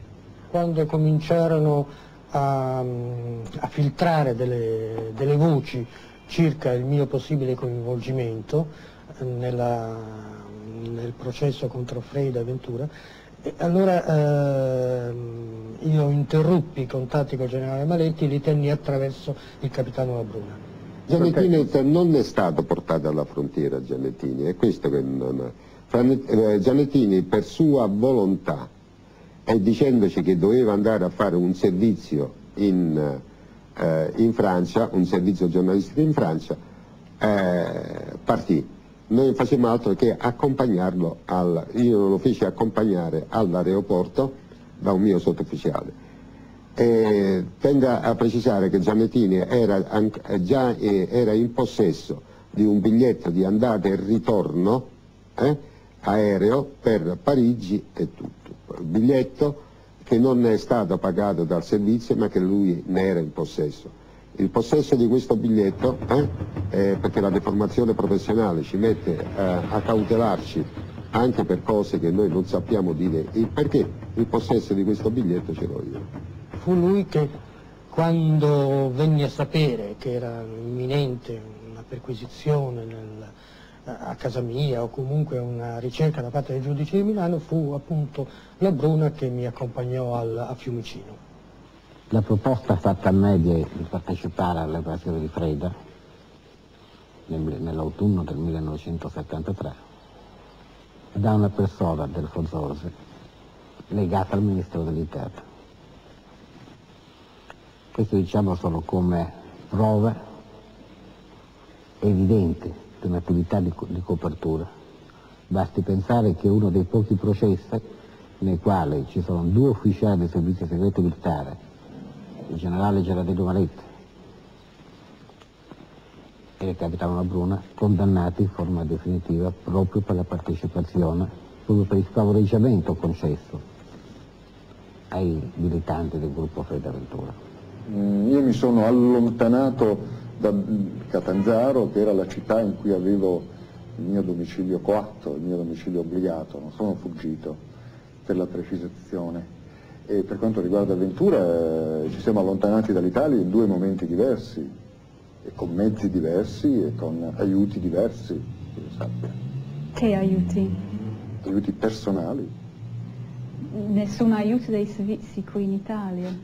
In quel momento là noi avevamo eh, Guido Giannettini a disposizione che stavamo sottoponendo ad interrogatori, e avevamo, eh, era alla nostra attenzione ehm, l'attività soprattutto svolta da Guido Giannettini e avevamo eh, scoperto che Guido Giannettini era mh, uno di quelli che credeva nell'esistenza attuale in Italia della cosiddetta guerra rivoluzionaria.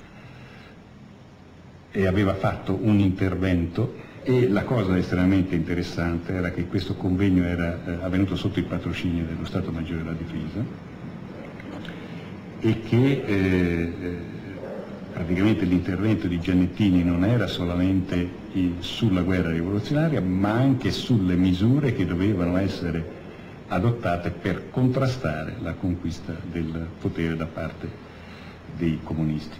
E questa eh, strategia della controguerra rivoluzionaria era proprio nel eh, acuire le tensioni sociali, nel far vedere eh, il pericolo una, eh, della sinistra, pericolo che si poteva mh, mm, che doveva essere evidenziato attraverso attentati, ma anche eh, compiuti facendoli ricadere sulla sinistra, ma anche attraverso eh, infiltrazioni.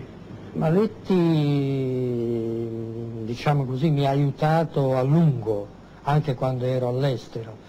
E a un certo punto poi è stato costretto ad abbandonarmi. E chi lavora con i servizi informativi sa che questo può succedere credo che la vita di ciascuno di noi venga utilizzata da chi ha maggior potere di noi. A Platone diceva che noi uomini siamo dei burattini nelle mani degli dei. Ecco, nel mio caso eh, riconosco di essere un burattino nelle mani di, di, delle idee, ma non di uomini dei servizi segreti o di forze politiche nazionali o extranazionali. Voglio dire che la mia guerra l'ho fatta io come volontario con... Eh, seguendo il disegno strategico che le mie idee mi comunicavano, basta. La strage di Bologna avviene in un momento in cui massimo dell'allarme del regime e l'allarme dei servizi di sicurezza italiani, alleati e nordamericani,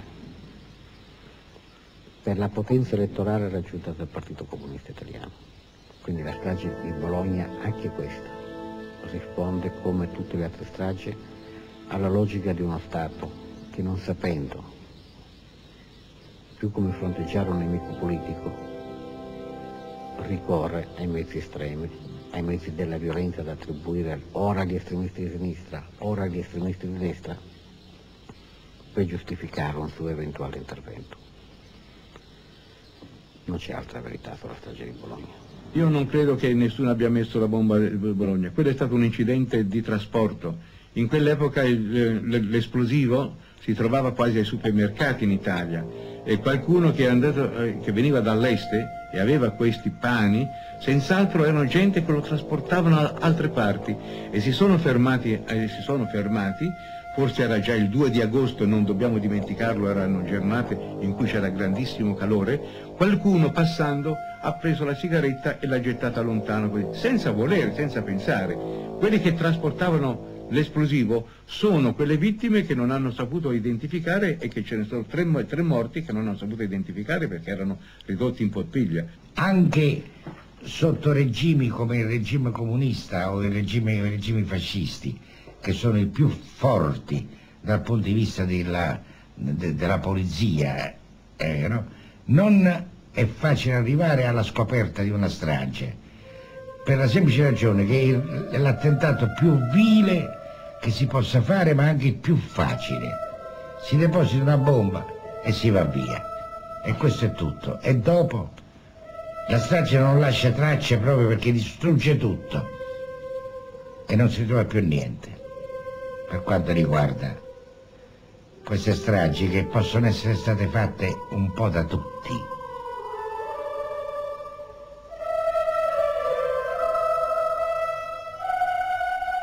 There's no evidence that the Americans paid the terrorists or those who ordered the bombings, but secret CIA documents do reveal a pattern of payments to people connected with the Italian secret services, some of whom knew nothing at all about Gladio's role in bombings and kidnappings.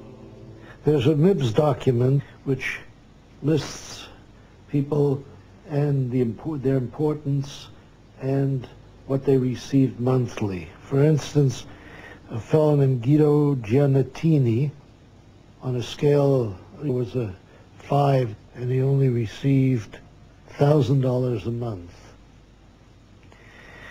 Now, Tino Rauti was a two, he received 4000 a month. Saravalli was a one and got 6000 a month. Alavena was a one, he got 5,000. Micheli was the one who got 5,000 a month. D'Amato uh, was the one who was paid out of an embassy fund. Cauchy was a five. He was paid directly by uh, Licio Gelli.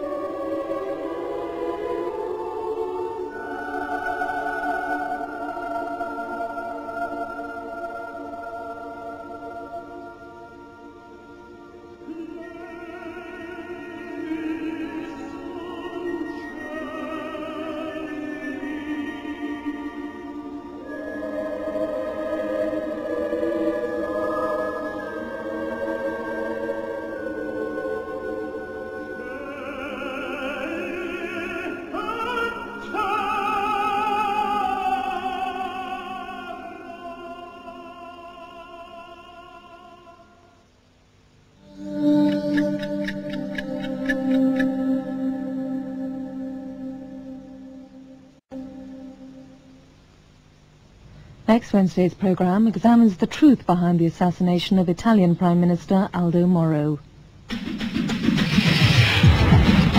which draws together the threads of a series of savage yet seemingly pointless murders.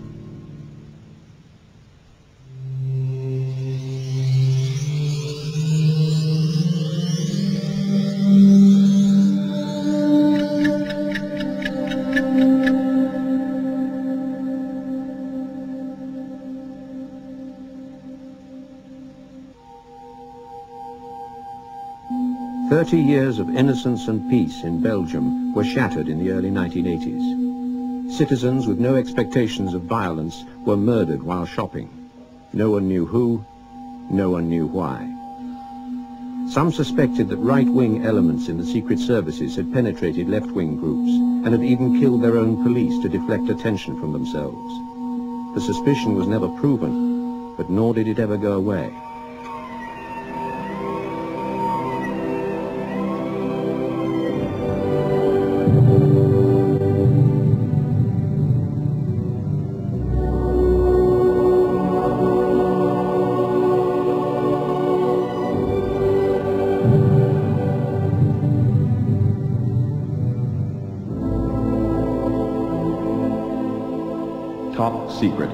May be times when host country governments show passivity or indecision in the face of communist subversion. U.S. Army intelligence must have the means of launching special operations which will convince host country governments and public opinion of the reality of the insurgent danger. U.S. Army intelligence should seek to penetrate the insurgency by means of agents on special assignment with the task of forming special action groups among the most radical elements of the insurgency. I never heard such a thing, frankly. I don't know the origin of the statement, and you can find any statement in any country. I mean, you can find jackass statements anywhere. I suspect it is an authentic document. I don't, I don't doubt it. I never saw it, but uh, it's the kind of uh, uh, special forces military operations that are uh, described. Uh, on the other hand, uh, you've got to recall that the Defense Department and the President uh, don't uh, initiate any of those uh, orders. until there is an appropriate occasion. A supplement B of Field Manual uh, 3132. It's 12 pages long. It's not a hell of a big thing, but if it's not authentic, then you, you need to ask somebody what, what, what is it doing in the classified manual section of um, most field manual libraries. Poi era un documento che mi diede, mi consegnò un mio carissimo amico che faceva parte della CIA prima di rientrare a, in sede, disse prenditi questo, quando hai un ritaglio di tempo leggitelo. The field manual is an old forgery designed to show that there's some kind of accusing the United States basically of what the Soviet Union was doing in Italy, which was creating a, secret underground paramilitary organization capable of acting to subvert Italian democracy. Je suis originaire de la région du nord de la province de Luxembourg. J'étais à ce moment-là gérant de banque et j'étais aussi euh, un ancien du régiment paracommando. C'est simplement comme ça qu'un jour se sont présentés chez moi des, gens qui sont venus me demander de les aider dans des manœuvres un peu spéciales qui allaient se passer dans le nord de la province en coordination avec euh, les forces spéciales américaines. Au départ de la manœuvre, les, commandos belges étaient chargés de récupérer les forces spéciales américaines qui étaient parachutées dans la forêt. Euh, après cette opération, ils devaient se diriger donc vers des points de, de, de coordonnées et vers des attaques bien précises de casernement, de, gendarmerie. J'avais chez moi le ravitaillement, les munitions, euh, les, relais radio, etc., pour coordonner les opérations. Un dimanche matin, nous avons appris dans, dans les journaux, à la radio, qu'il y avait eu une attaque pendant la nuit sur un camp militaire d'une unité de chasseurs ardennais en Ardennes, ici en Belgique. Et je suis allé là-bas comme d'autres journalistes. On avait donc découpé les fils barbelés, on avait attaqué l'armurerie, on avait blessé en tirant le chef de poste et on était parti avec un certain nombre d'armes. Euh, J'ai pu euh, pénétrer dans le camp parce que je connaissais certaines personnes. Et à l'intérieur du camp, je me suis aperçu qu'il y avait des militaires étrangers, notamment des Américains. Quelques jours avant, il y avait eu des bavures, c'est-à-dire que les Américains étaient trop motivés. Ce sont des gens quand même qui ont, dans la quarantaine, tous officiers, c'est comme des, des- mecs solides. Et ces gens-là ont joué le jeu un peu trop fort. Ils ont attaqué une caserne de gendarmerie dans la région de Neuchâtel. Ils ont même balancé une grenade euh, euh, défensive euh, près de, je crois, près de chez le procureur du roi, à Neuchâtel. Il y a une ré- réaction du, du- du pouvoir civil en disant, et là, vos, vos- vos hommes, là, ils s'amusent un peu trop fort, on pousse un peu les choses trop loin. Donc c'est à ce moment-là que l'attaque de la caserne qui était programmée et que nous avions déjà été repérés deux, trois jours avant, a été annulée. Le jour de l'attaque, on nous a prévenu que ça ne se passerait pas, mais les Américains m'ont comme demandé de les conduire derrière la caserne, en stand-by, pour attaquer la caserne. Le lendemain, j'étais parti avec mon épouse euh, ici du côté de Namur, j'ai entendu la radio que la caserne avait été attaquée à minuit. L'attaque de la caserne, pour moi, je ne peux pas dire comment ça s'est passé, puisque ce jour-là, à 8 heures du soir, moi je suis parti. Je, je les ai prévenus, moi je reste pas pour les opérations.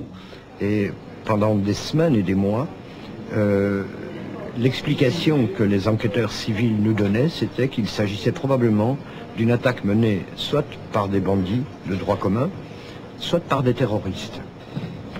Il a fallu attendre plusieurs mois pour qu'un jour je reçoive un coup de téléphone, c'est ainsi que je suis allé en France, où j'ai vu Lucien Dissler, qui m'a euh, donné un texte et qui a parlé avec moi longuement pour m'expliquer qu'il euh, jouait un rôle dans une manœuvre secrète qui devait reproduire des opérations euh, de résistance et d'appui à la résistance telles qu'elles avaient été menées à la fin de la guerre en 1944. Le surlendemain, que j'ai reçu un coup de téléphone du, commandant de la caserne de Vieille-Salme qui m'avertissait du suivi de l'opération. Il m'a dit voilà, euh, dites au commando belge que le garçon que nous avons récupéré sur le terrain n'est pas mort, il est gravement blessé et nous l'avons conduit à l'hôpital à Liège. Le samedi euh, du soir de l'attaque de ce camp, son rôle avait été de transporter euh, une équipe de militaires habillés en civil à proximité du camp de Vielsalm et que les plans étaient, cette nuit-là, d'attaquer. Les autorités militaires belges et américaines, qui ont également été interrogées, euh, ont fini, après des mois, par admettre qu'il y avait bien eu une manœuvre, par reconnaître qu'au cours de cette manœuvre, on avait bien euh, organisé certaines attaques. Je me souviens, par exemple, euh, qu'il a été question d'une attaque contre un dépôt de carburant militaire à Bastogne, une autre attaque la nuit contre une gendarmerie, une brigade de gendarmerie à Neuchâteau.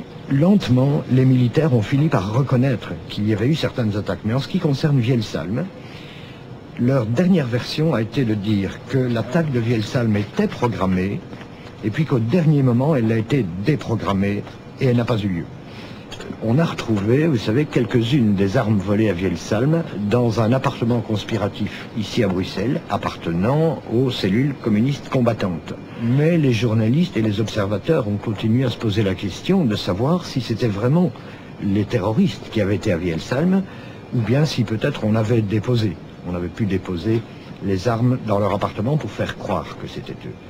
Allô, la de rédaction Oui. Bonjour, les cellules communistes. Oui. Nous pensons que les flics sont venus avant vous, avenue Louise.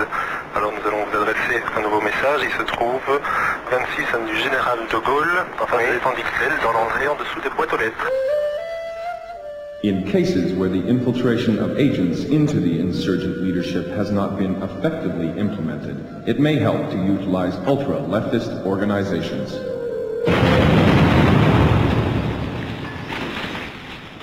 Il me paraissait très significatif que dans les années 80, s'était développé un terrorisme de type médiatique euh, qui utilisait les médias pour provoquer un choc dans l'opinion et dans la classe politique. Alors ce terrorisme pouvait avoir deux origines, soit une terrorisme d'extrême gauche ou d'extrême droite, être le fait de, gouvernements étrangers ou de services euh, de renseignement et d'action étrangers, un terrorisme qui vise à déstabiliser la société démocratique.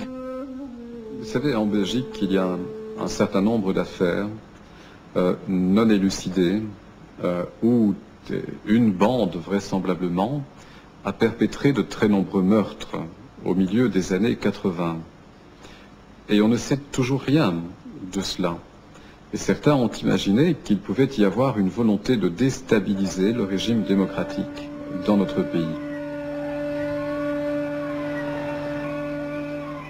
En hij ziet een draai, gemaskerde man uit en dingen er van achter komen. En hij zegt tegen zijn, zijn klein, laat u vallen, hij, want ze zijn daar. En daarmee willen, willen vluchten. Hè.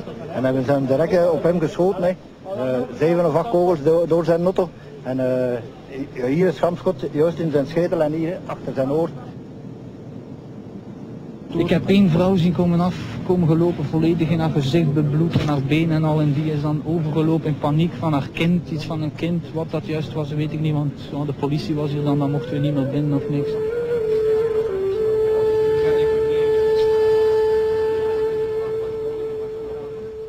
My name is uh, Martial McCur. I used to be with the Belgian Gendarmerie. I left uh, Belgium in August 84 after precise death threat against my kids. In beginning of December 1983, I did go personally to the BSR, BSR, who were doing the investigation about the killing. I was surprised that uh, no arrest had been made, and I knew that I did report myself what was going on, and we were expecting killing like that, uh, random killing, going to supermarket and killing people, even kids. I believe they killed about 30 people. So I told the gentleman I met, uh, Leo Lice, member of the gendarmerie or the army, are there involved in that. His answer was, uh, shut up, you know, we know. Uh, take care of your own business, get out of here.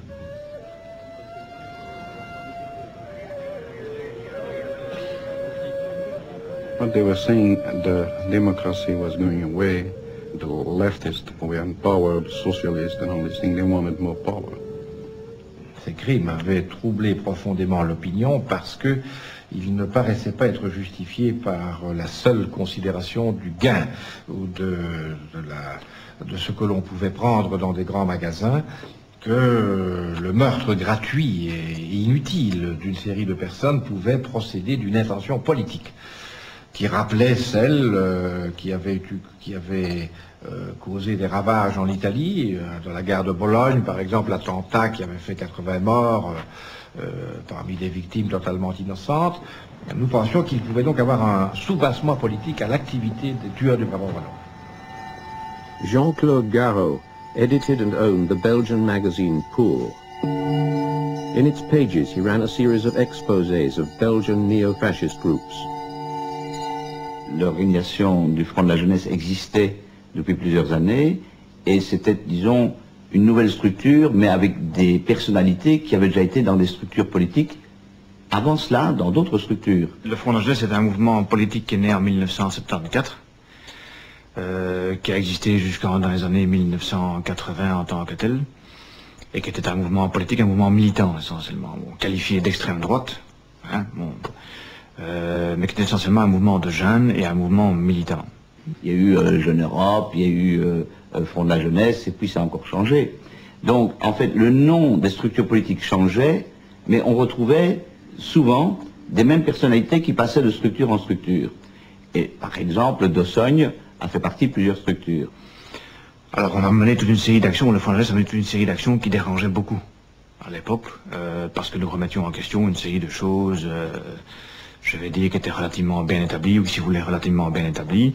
Et le Front a beaucoup dérangé, et le Front a tellement dérangé qu'on a en fait voulu euh, le casser. On soupçonnait qu'il y avait un centre nerveux décisionnel qui était entouré de cercles successifs qui déléguaient des tâches à chacune d'entre elles, avec naturellement un problème, c'est que plus les tâches étaient déléguées, quand elles arrivaient au cercle périphérique éloigné du centre nerveux, il y avait des erreurs. Dans les Ardennes, c'est une des erreurs de fonctionnement pour recréer, disons, l'ensemble de leur euh, noyau d'intervention euh, actif, donc paramilitaire, ils avaient besoin de former et d'encadrer des éléments d'extrême droite. Euh, anciens paracommandos, anciens militaires, membres de la gendarmerie, militants d'extrême droite. On a condamné les militants du Front de la Jeunesse pour avoir tenu des camps soi-disant paramilitaires. En fait, à l'heure actuelle, si vous voyez ce que font les scouts, ou ce que font certaines sociétés en matière d'incentives, par exemple, ils font beaucoup plus que ce que le Front Nationaliste n'a jamais fait. Une de ces organisations flamandes, VMO, Vlaams Militanten Orde, avait une section active de combat et qu'ils désiraient entraîner. Alors ils ont entraîné ce groupe dans un camp, dans les Ardennes, et donc une activité de ce type, où on emploie des tirs de fusils mitrailleurs, des lancements de, de grenades, ça fait du bruit, ça éveille des attentions. Donc nous avons été informés par quelqu'un que ce camp allait avoir lieu. Nous le savions et nous avons euh, mis euh, les moyens photographiques nécessaires en œuvre pour photographier une partie de l'action.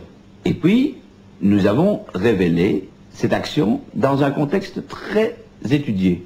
Nous avons dit, nous estimons qu'il y a eu un camp d'entraînement militaire du VMO avec tir euh, de fusils, fusils mitrailleurs, avec lancement de cocktails Molotov, avec impact de balles dans les Ardennes. Le Front n'avait pas de camp militaire en tant que tel. Le Front organisait des week-ends qui se, déroulaient dans des campings, dans des propriétés privées, mais sur la, bon, où on circulait sur la voie publique, etc. Bon, le Front de était un marche les dames, comme beaucoup d'autres groupes de jeunes, avec les autorisations des autorités militaires. Donc tout ça se faisait au vu et au su de tout le monde. Des amis de la radio, de la télévision, en connexion avec moi, ont immédiatement été interviewés le général Borir, qui était à l'époque le numéro un de la pyramide de la gendarmerie. Le général Borir, c'était le général en chef de toute la gendarmerie. Le général Borir, en interview télévision et radio, a dit « Cela n'a jamais existé. Le jour même, le juge d'instruction intervenait, mais intervenait où cela Ici. En perquisitionnant ici, et en faisant une déclaration à la presse en disant Jean-Claude Garot a créé un faux et usage de faux, il a fabriqué avec des uniformes, des photos et des armes toute une mascarade. Le groupe G était en fait une des sections du Front de la Jeunesse qui regroupait les jeunes gendarmes. Qui, pour des raisons déontologiques liées à l'exercice de leur profession, ne voulaient pas être mélangés avec les autres, et par conséquent risquaient d'être mêlés à des actions de manifestation, des choses comme ça, qu'ils ne peuvent pas faire déontologiquement parlant. Ce qui fait que ces gendarmes, qui étaient peut-être une grande dizaine, petite dizaine grand maximum, ces gendarmes avaient demandé d'être regroupés dans une section à part. Mr. Francis Dossoin was the contact, and I've been, I've been recruited by another member of the gendarmerie from headquarters to become a member of that group. Only police officer was inside that group. Was called the group G, G for gendarmerie. Que le a fait partie du groupe G. Il a été même parmi les premiers qui ont fait partie du groupe G. Et il a tellement bien fait partie du groupe G que c'est en fait, bon ça on l'a appris par après, mais que c'est en fait le queue qui informe l'état-major de la gendarmerie à l'époque de l'existence du groupe G. And uh, I did witness there Mr. Mievis, he's the one who did recruit me, giving to Mr. Dossoin confidential uh, file from headquarters. The people they did recruit were people like myself, people from headquarters, people who have access to certain knowledge inside the gendarmerie. So I believe officers in headquarters were involved also.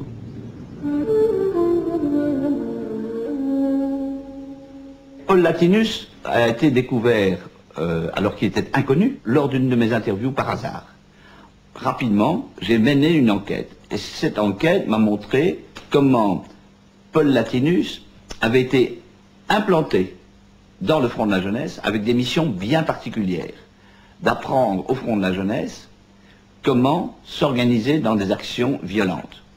Attaque de café euh, d'immigrés arabes, euh, camp d'entraînement militaire, euh, manière de se faire encadrer pour la surveillance. Alors la structure de Westland New Post, je, rappelle aussi que c'est la structure identique pour toutes, pour tous les morceaux, pour tous les quartiers la même tarte. C'est toujours le même principe. Vous avez un état-major au-dessus. Au-dessus de cet état-major, vous avez ces deux grandes directions qui apportent soit l'assistance économique, soit l'assistance euh, l'assistance de besoin, d'autorité euh, immédiate. Bon, ces gens-là, en haut, on ne les connaît pas.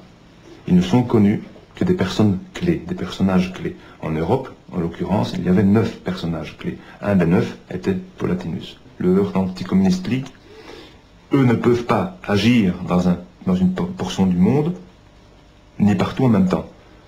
Eux, pour faire quelque chose, ils le feront faire. Par qui? Par des compagnies amies faisant partie du même système. Vous avez l'Europe divisée en huit avec un centre. Nous avions le groupe centre pour la Belgique, euh, l'ouest de l'Allemagne, le nord de la France et pratiquement la majeure partie des Pays-Bas. Latinus avait été chargé de constituer et de structurer ce groupe comme une armée secrète, un peu sur le modèle de l'ASS. Il y avait euh, un service secret, un service de sécurité à l'intérieur du groupe. Euh, chaque membre du groupe portait un double nom, un nom de code, généralement des noms allemands. Euh, chaque membre ne connaissait pas l'autre et on recrutait dans ce groupe par parrainage. Et celui qui était recruté ne connaissait pas les autres membres de l'équipe.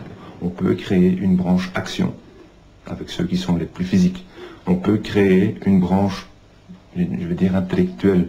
Ce sont ceux qui vont, euh, qui vont gérer le renseignement. Donc de l'information, de l'action et de l'université.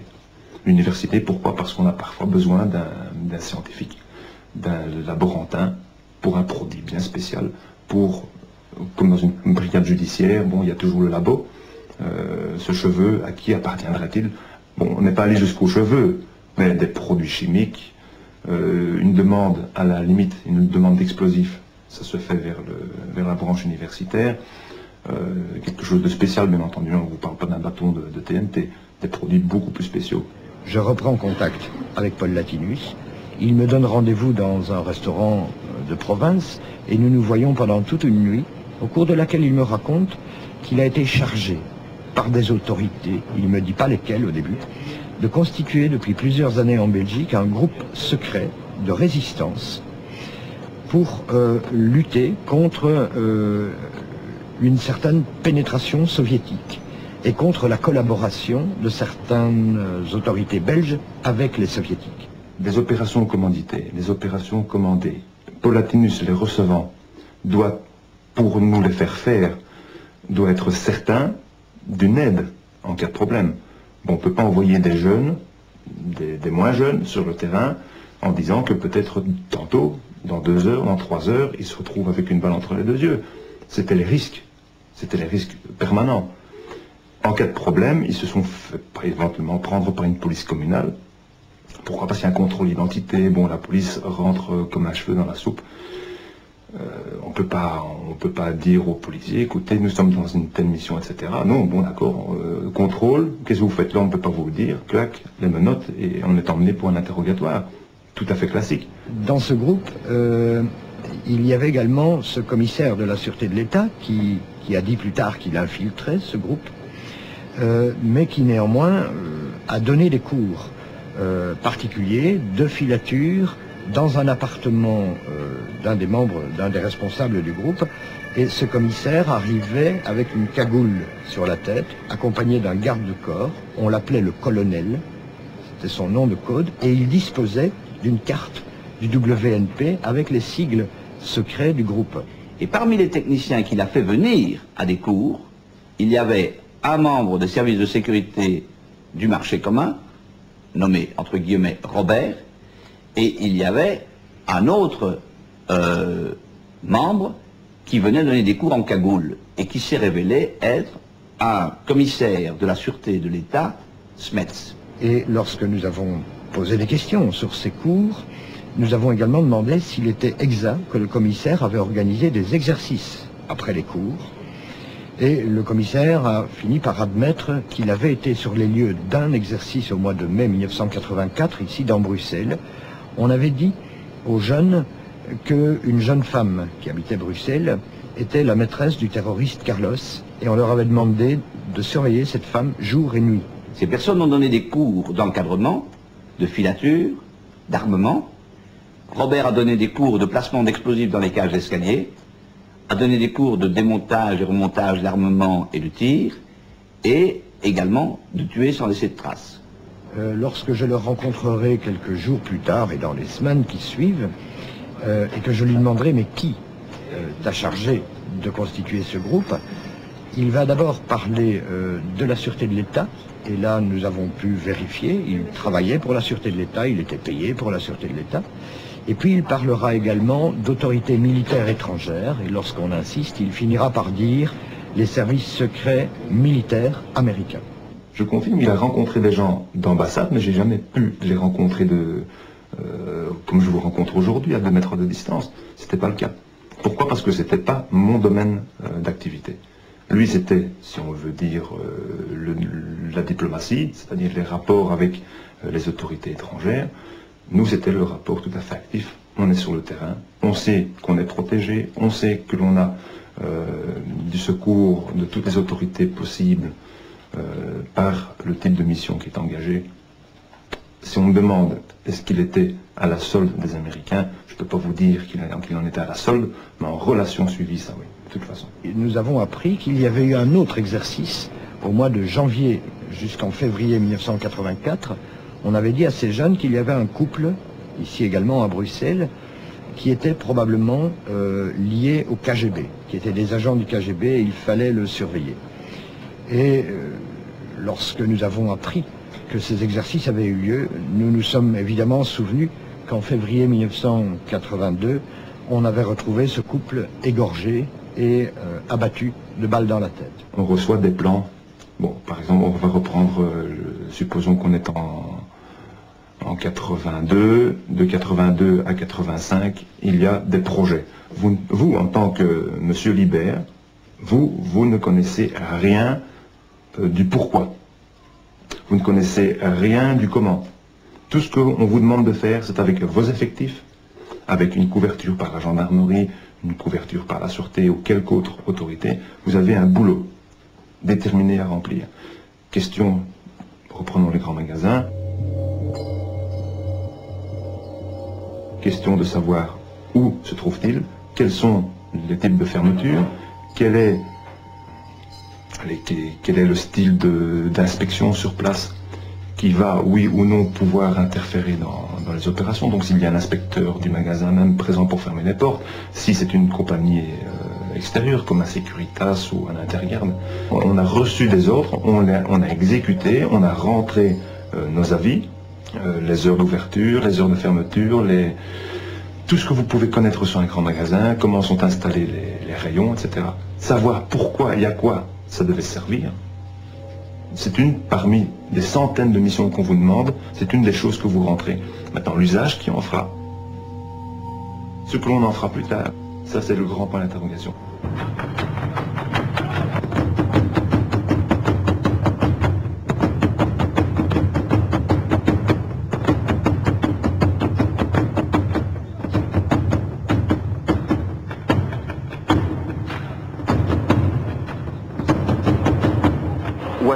Abattu les, Il y en a sur le parking, il y en a dans le magasin. Avant, pendant et après l'order Avant, pendant et après. Simplement vu donc un- quelqu'un courant avec un masque de carnaval, hein, avec un fusil. Mais le bulletin c'est dérisoire, il doit être en dessous de 200 000. 200 000. pas l'argent que l'on cherchait. Ça, c'est difficile à dire. Il avait un genre de masque comme au carnaval. Il avait un grand fusil, je ne sais pas ce que c'était exactement. Et quand je me suis avancé, il a fait un geste comme ça vers moi, naturellement. Je n'ai pas demandé mon compte. J'ai fait demi-tour et je suis allé vers, vers la boucherie, vers l'arrière. The guns they were using were coming from the far wing. And that's exactly what we, we did plan. It's to organize gangs and um, groups like that and let them go by themselves, but make sure they will survive and make sure to, to supply them and, you know, just to create a climate of terror in a country. After four years of random killings and hold-ups, the Brabant Wallon killers vanished. Then, after a year of silence, a phone call led police to a sack in a Belgian canal. In it they found the weapons used in the killings and much of the loot. The caller never identified himself. They have two two plans. Once, the first one was to uh, organize gangs to do hold up, hostage, you know, killing. The second one was to organize the so-called left movement uh, who will do a terrorist attempt, just to make believe, make the population believe that uh, these terror terrorist attempts were done by the left. In Belgium, as in the rest of Europe, the 1968 student revolts in Paris, Brussels, Frankfurt and Milan led to the emergence of armed leftist action groups. The Red Army faction, Bader Meinhof, Action Directe, and the Red Brigades, Le Brigate Rosse.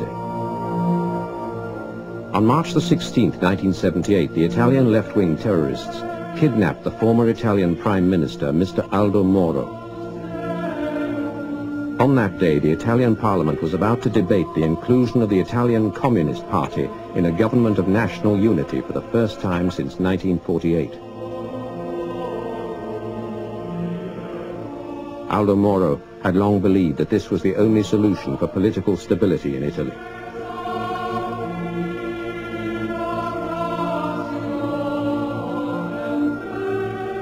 Brigada Rosso was penetrated. Bada Meinhof was penetrated. Action Direct.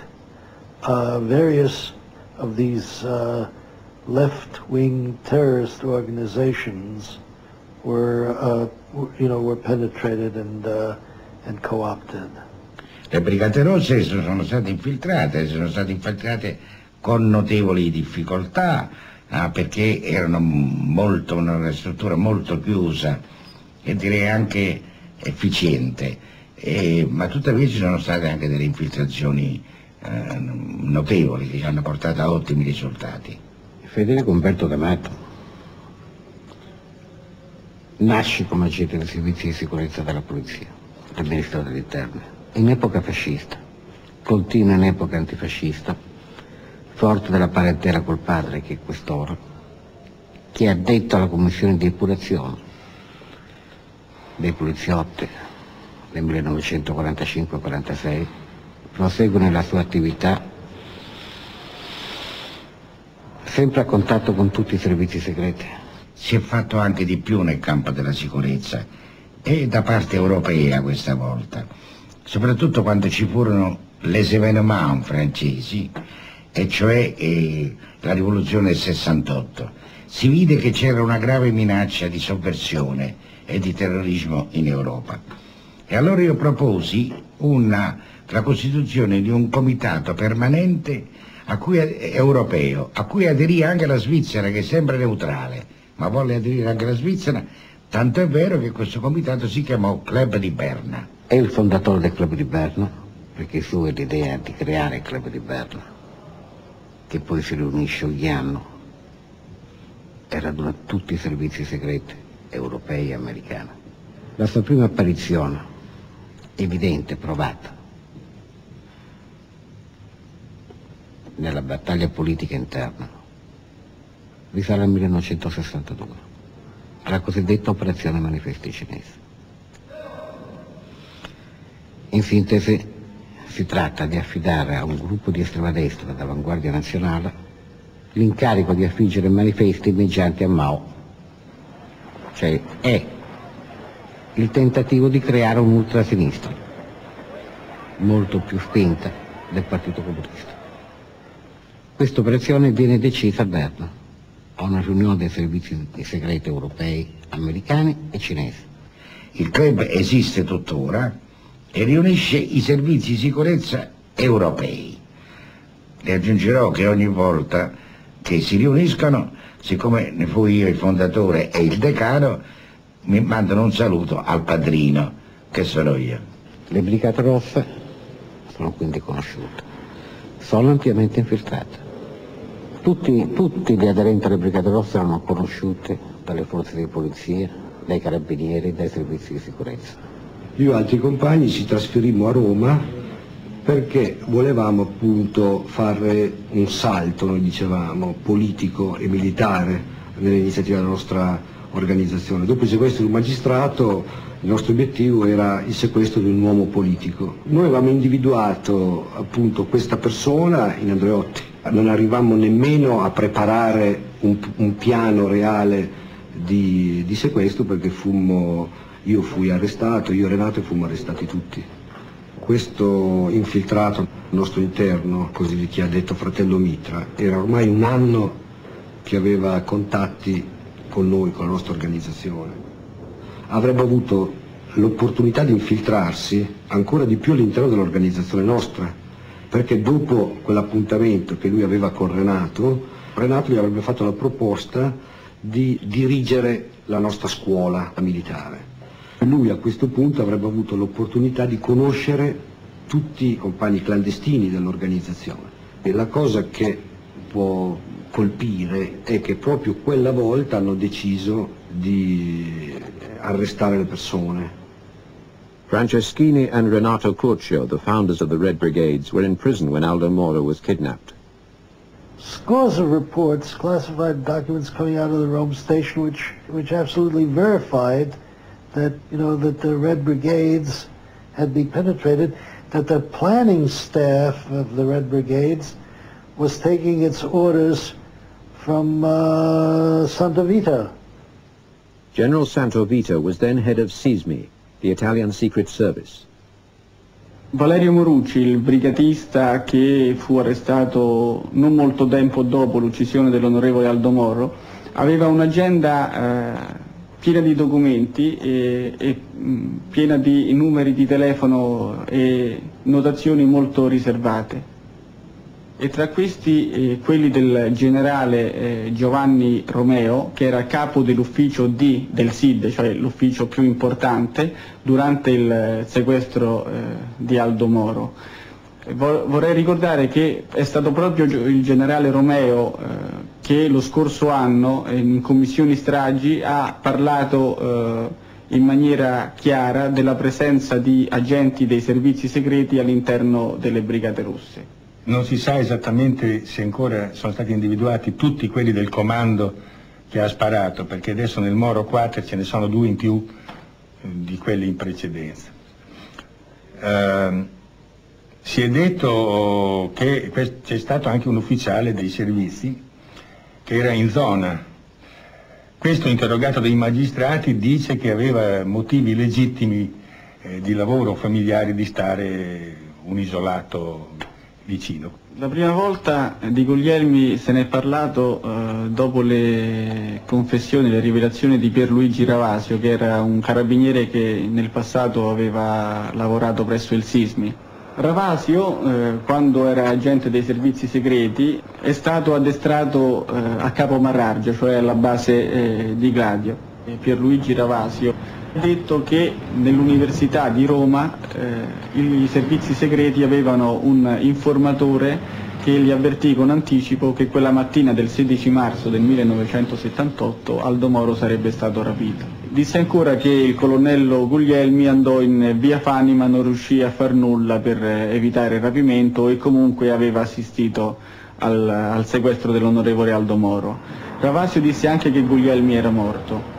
In realtà Guglielmi eh, non era morto ed è stato uh, interrogato dal giudice romano Luigi De Ficchi e ha parzialmente confermato la storia di Ravasio dicendo che quella mattina lui era nei pressi di Via Fani ma non aveva assistito al rapimento.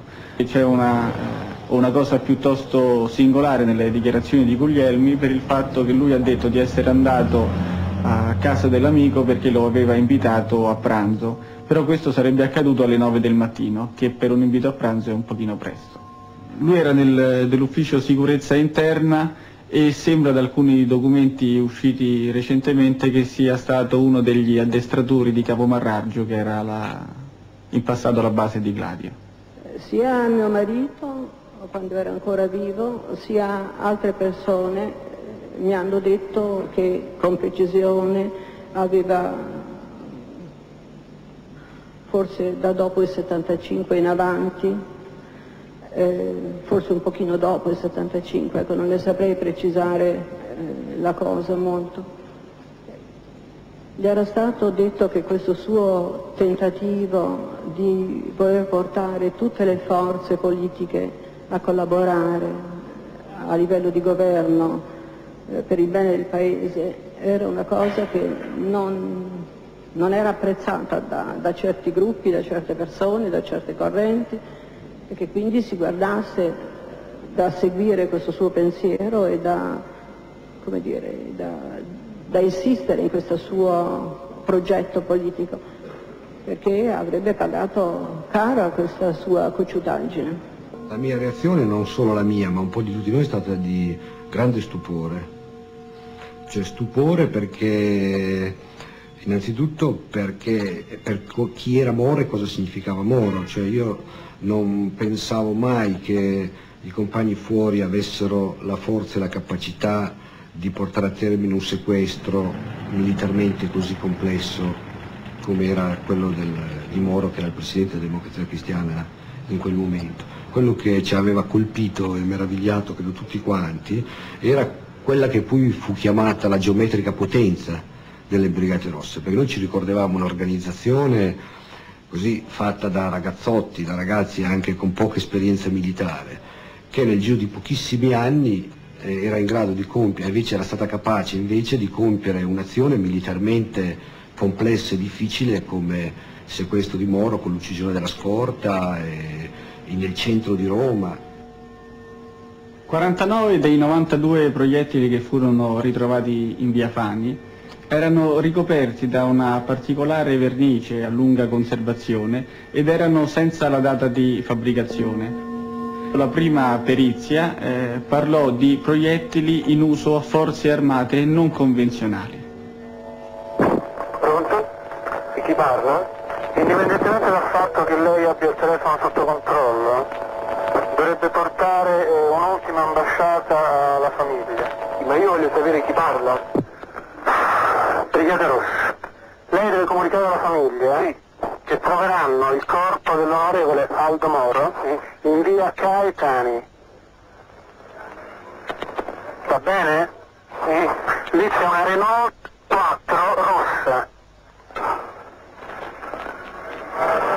I primi numeri di targa sono N5. N5. Devo telefonare io? No, dovrebbe andare personalmente. E non posso. Non può?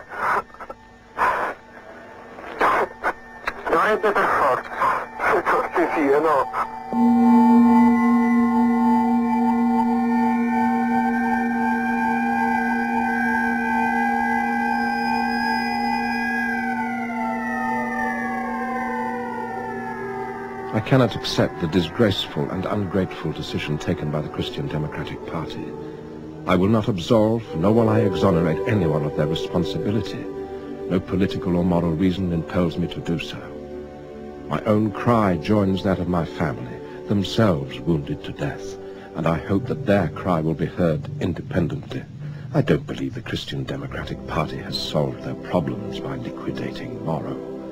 Because of this clear incompatibility, I request that at my funeral there be no one present representing the Italian state and no one from the political party. I ask to be accompanied by the few people who have really wished me well, those therefore that are worthy of accompanying me with their prayers and with their love. Kind regards, Aldo Moro. Nella democrazia cristiana la morte di Aldo Moro pesa ancora e pesa la scelta che io ho fatto e che mi ha fatto diventare i capelli bianchi di praticamente sacrificare Moro per salvare la Repubblica. Nella tipografia delle Brigate Rosse che fu scoperta immediatamente dopo eh, l'uccisione di Aldo Moro, che era in via Pio Foà a Roma, fu trovata una stampatrice eh, che eh, proveniva dai servizi segreti, in particolare dal RUS, raggruppamento unità eh, speciali, eh, che era, eh, che, era, il settore delle, dei servizi segreti che si occupava del reclutamento dei gladiatori. By the time that Moro's body was discovered, the Italians had worked themselves into such a frenzy and such a terror about the Red Brigades that I think if the Red Brigades had appreciated just how frightened the Italian government was at that point that they might actually have accomplished something. I mean, accomplished something political.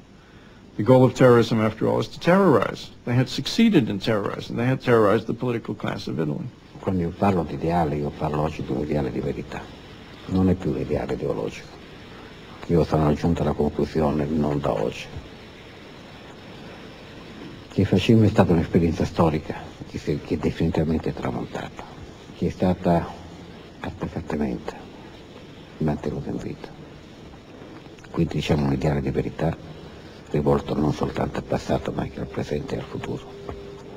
Questo ideale di verità esclude che io possa pentirmi di ciò che ho fatto, perché ciò che ho fatto, giusto o sbagliato che possa essere giudicato,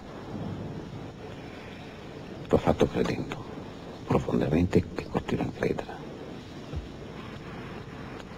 E non posso quindi dissociarmi da questo passato. In cambio di cosa?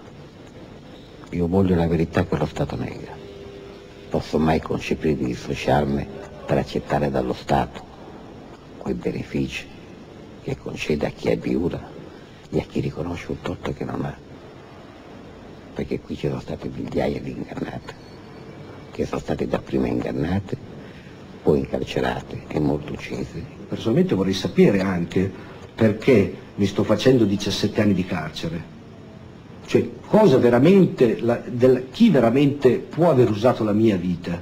Cioè mentre io credevo di muovermi in una certa direzione, forse c'era qualcuno, senza che io me ne rendessi conto, che mi faceva procedere in un'altra direzione, io vorrei saperlo.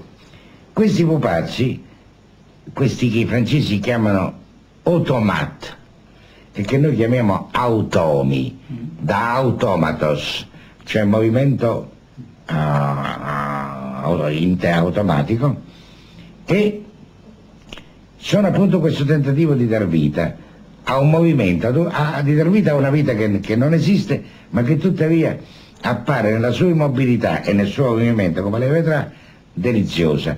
Qui ci troviamo con un automa che in fondo riassume un po' il nostro argomento. Direi che questo è l'automa della politica, questo è il giocoliere, le jongleur.